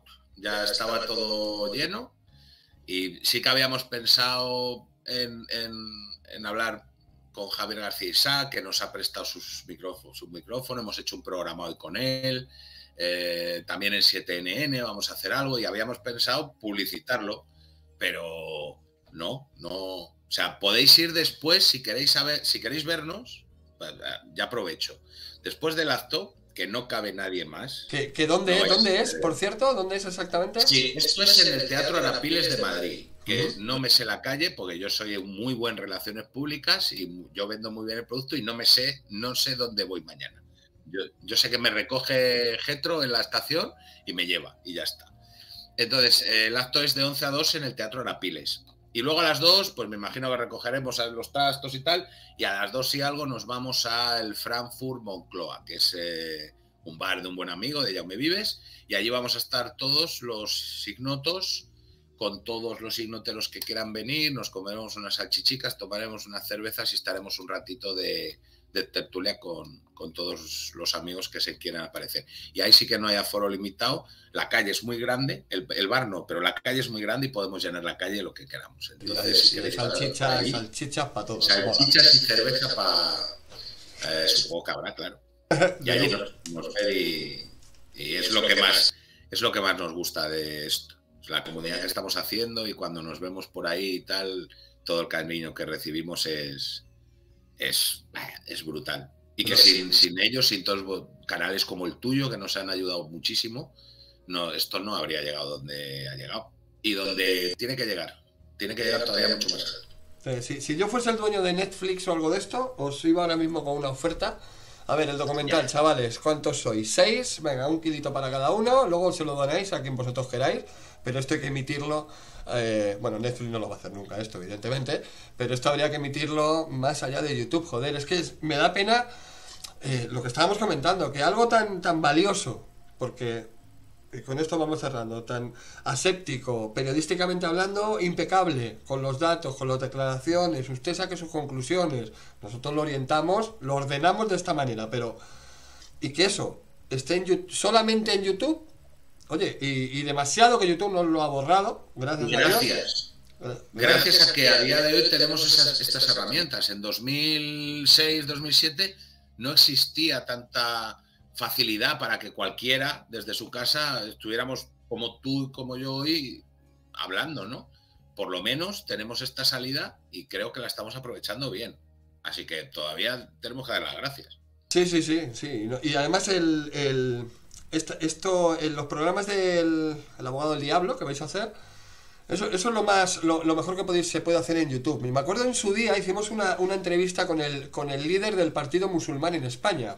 casi nada. Con Patricio Carrasco encima. Casi nada. O sea, lo más opuesto del mundo, los dos más opuestos del mundo, los juntamos en nuestra TV. ¿Y por qué no nos censuraron en el canal? Y, y la entrevista concretamente. Porque me leí las normas y resulta que si hacemos un comepollismo aquí y los dos estamos aquí no porque X, lo que sea. No, es que el bicho no existe, el bicho no existe y ¡pum! Pero si tú dices que el bicho no existe y yo digo que sí, pues eso ya se convierte. Entonces YouTube no te lo. Se supone que no te lo puede censurar. O sea que tienes más libertad. Lo tiran igual, ¿eh? si quieren. Si quieren, sí. Si quieren, sí. A mí en ese caso no lo hicieron y creo que me llegó una notificación de algo en la pelea o algo así, como mucho. Pero no, en principio, si pones las dos caras de la moneda, no deberían censurarlo. No deberían, hasta que se haga mucho ruido. Es, que ese es el trabajo periodístico que hay que hacer, ¿no? Creo yo. Sí, sí, se supone, se supone que es ese, pero, pero bueno. Pues nada, oye Raúl, lo dicho, muchísimas gracias. No sé si quieres añadir algo más. El micrófono es tuyo, si quieres soltar algo, un mensaje, lo que tú quieras. No, que estamos muy contentos como, sobre todo por cómo respondéis todos, que, pues, de verdad, siempre, siempre os lo decimos, si no fuera por vosotros, esto no habría pasado de ser un vídeo más perdido en YouTube con 30 visitillas y 30 likes, seguro, 100% ratio, pero serían 30. Y hay que seguir. Es importantísimo seguir haciendo todo el ruido posible, que nos lleven a los mayores mm, canales que podamos y que sigamos luchando para que esto no prescriba, porque el otro día estuve haciendo unas entrevistas en la calle y cuando le decía yo a la gente que esto prescribía el año que viene, decía, ¿cómo que prescribe? ¿Cómo va a prescribir? Bueno, pues si nada lo remedia, prescribirá.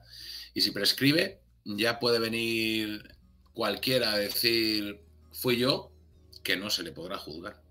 No se podría, aunque se...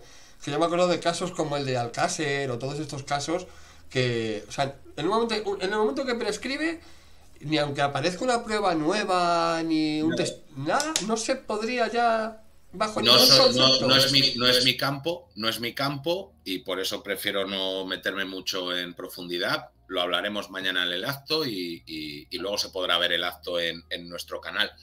Pero si prescribe, prescribe. Es que si prescribe ya, ya no hay, o sea, ya, ya no hay responsabilidad penal, ¿no? Pero no solo, pero es que es muy importante, no hay responsabilidad penal para los autores y para quien pudo obstaculizar a la justicia, poner pruebas falsas, mm, mm, que también puede haber algo de eso. Entonces, es muy importante, muy importante luchar por esto. Hay una puerta abierta, hay ahora mismo un caso, lo hablaremos mañana, y, hay un caso que está, mm, se basa en el, en el asesinato de Miguel Ángel Blanco y van a intentar que por ahí puedan meter también el 11M para que declararle imprescriptible, me parece que es la palabra técnica. Y, pero está en manos del Supremo. Eh, yo entiendo que esto será más que de cosa de judicatura, será algo más de voluntad política, me temo, me temo. Pues entonces... de no, ¿sabes? No hay. Estamos jodidos pues entonces, sí. Me temo que va más por, por voluntad política. Bueno, veremos a ver. Nosotros, por nosotros no va a quedar. Sí, eso es lo que te iba a decir. Por nosotros que no quede y Corocillán. Nos quedamos con ese nombre y con esta esa anotación que tengo yo aquí. Raúl, mil gracias. Dale, pásale de mi parte un abrazo a todos tus compañeros y, toda la gente que hayáis trabajado y que estéis trabajando actualmente en, esto, en este proyecto tan bonito que tenéis. De mi parte, aunque no nos conozcamos, y oye, ojalá algún día podamos coincidir y contad conmigo para, desde mi humilde posición, para lo que necesitéis, de verdad. Muchísimas gracias, tío. Todo, todo granito cuenta. Muchísimas, muchísimas gracias a ti. Y a todos los que nos habéis visto y nos habéis aguantado la turra. Pues un abrazo grande. Eh, Raúl, salto de la llamada, me quedo yo un ratito aquí con, la gente charlando. Muy bien. Y un honor conocerte, tío. Un abrazo. Mucha fuerza. Mucha fuerza. Un abrazo. Hasta, luego. Buenas noches. Hasta luego.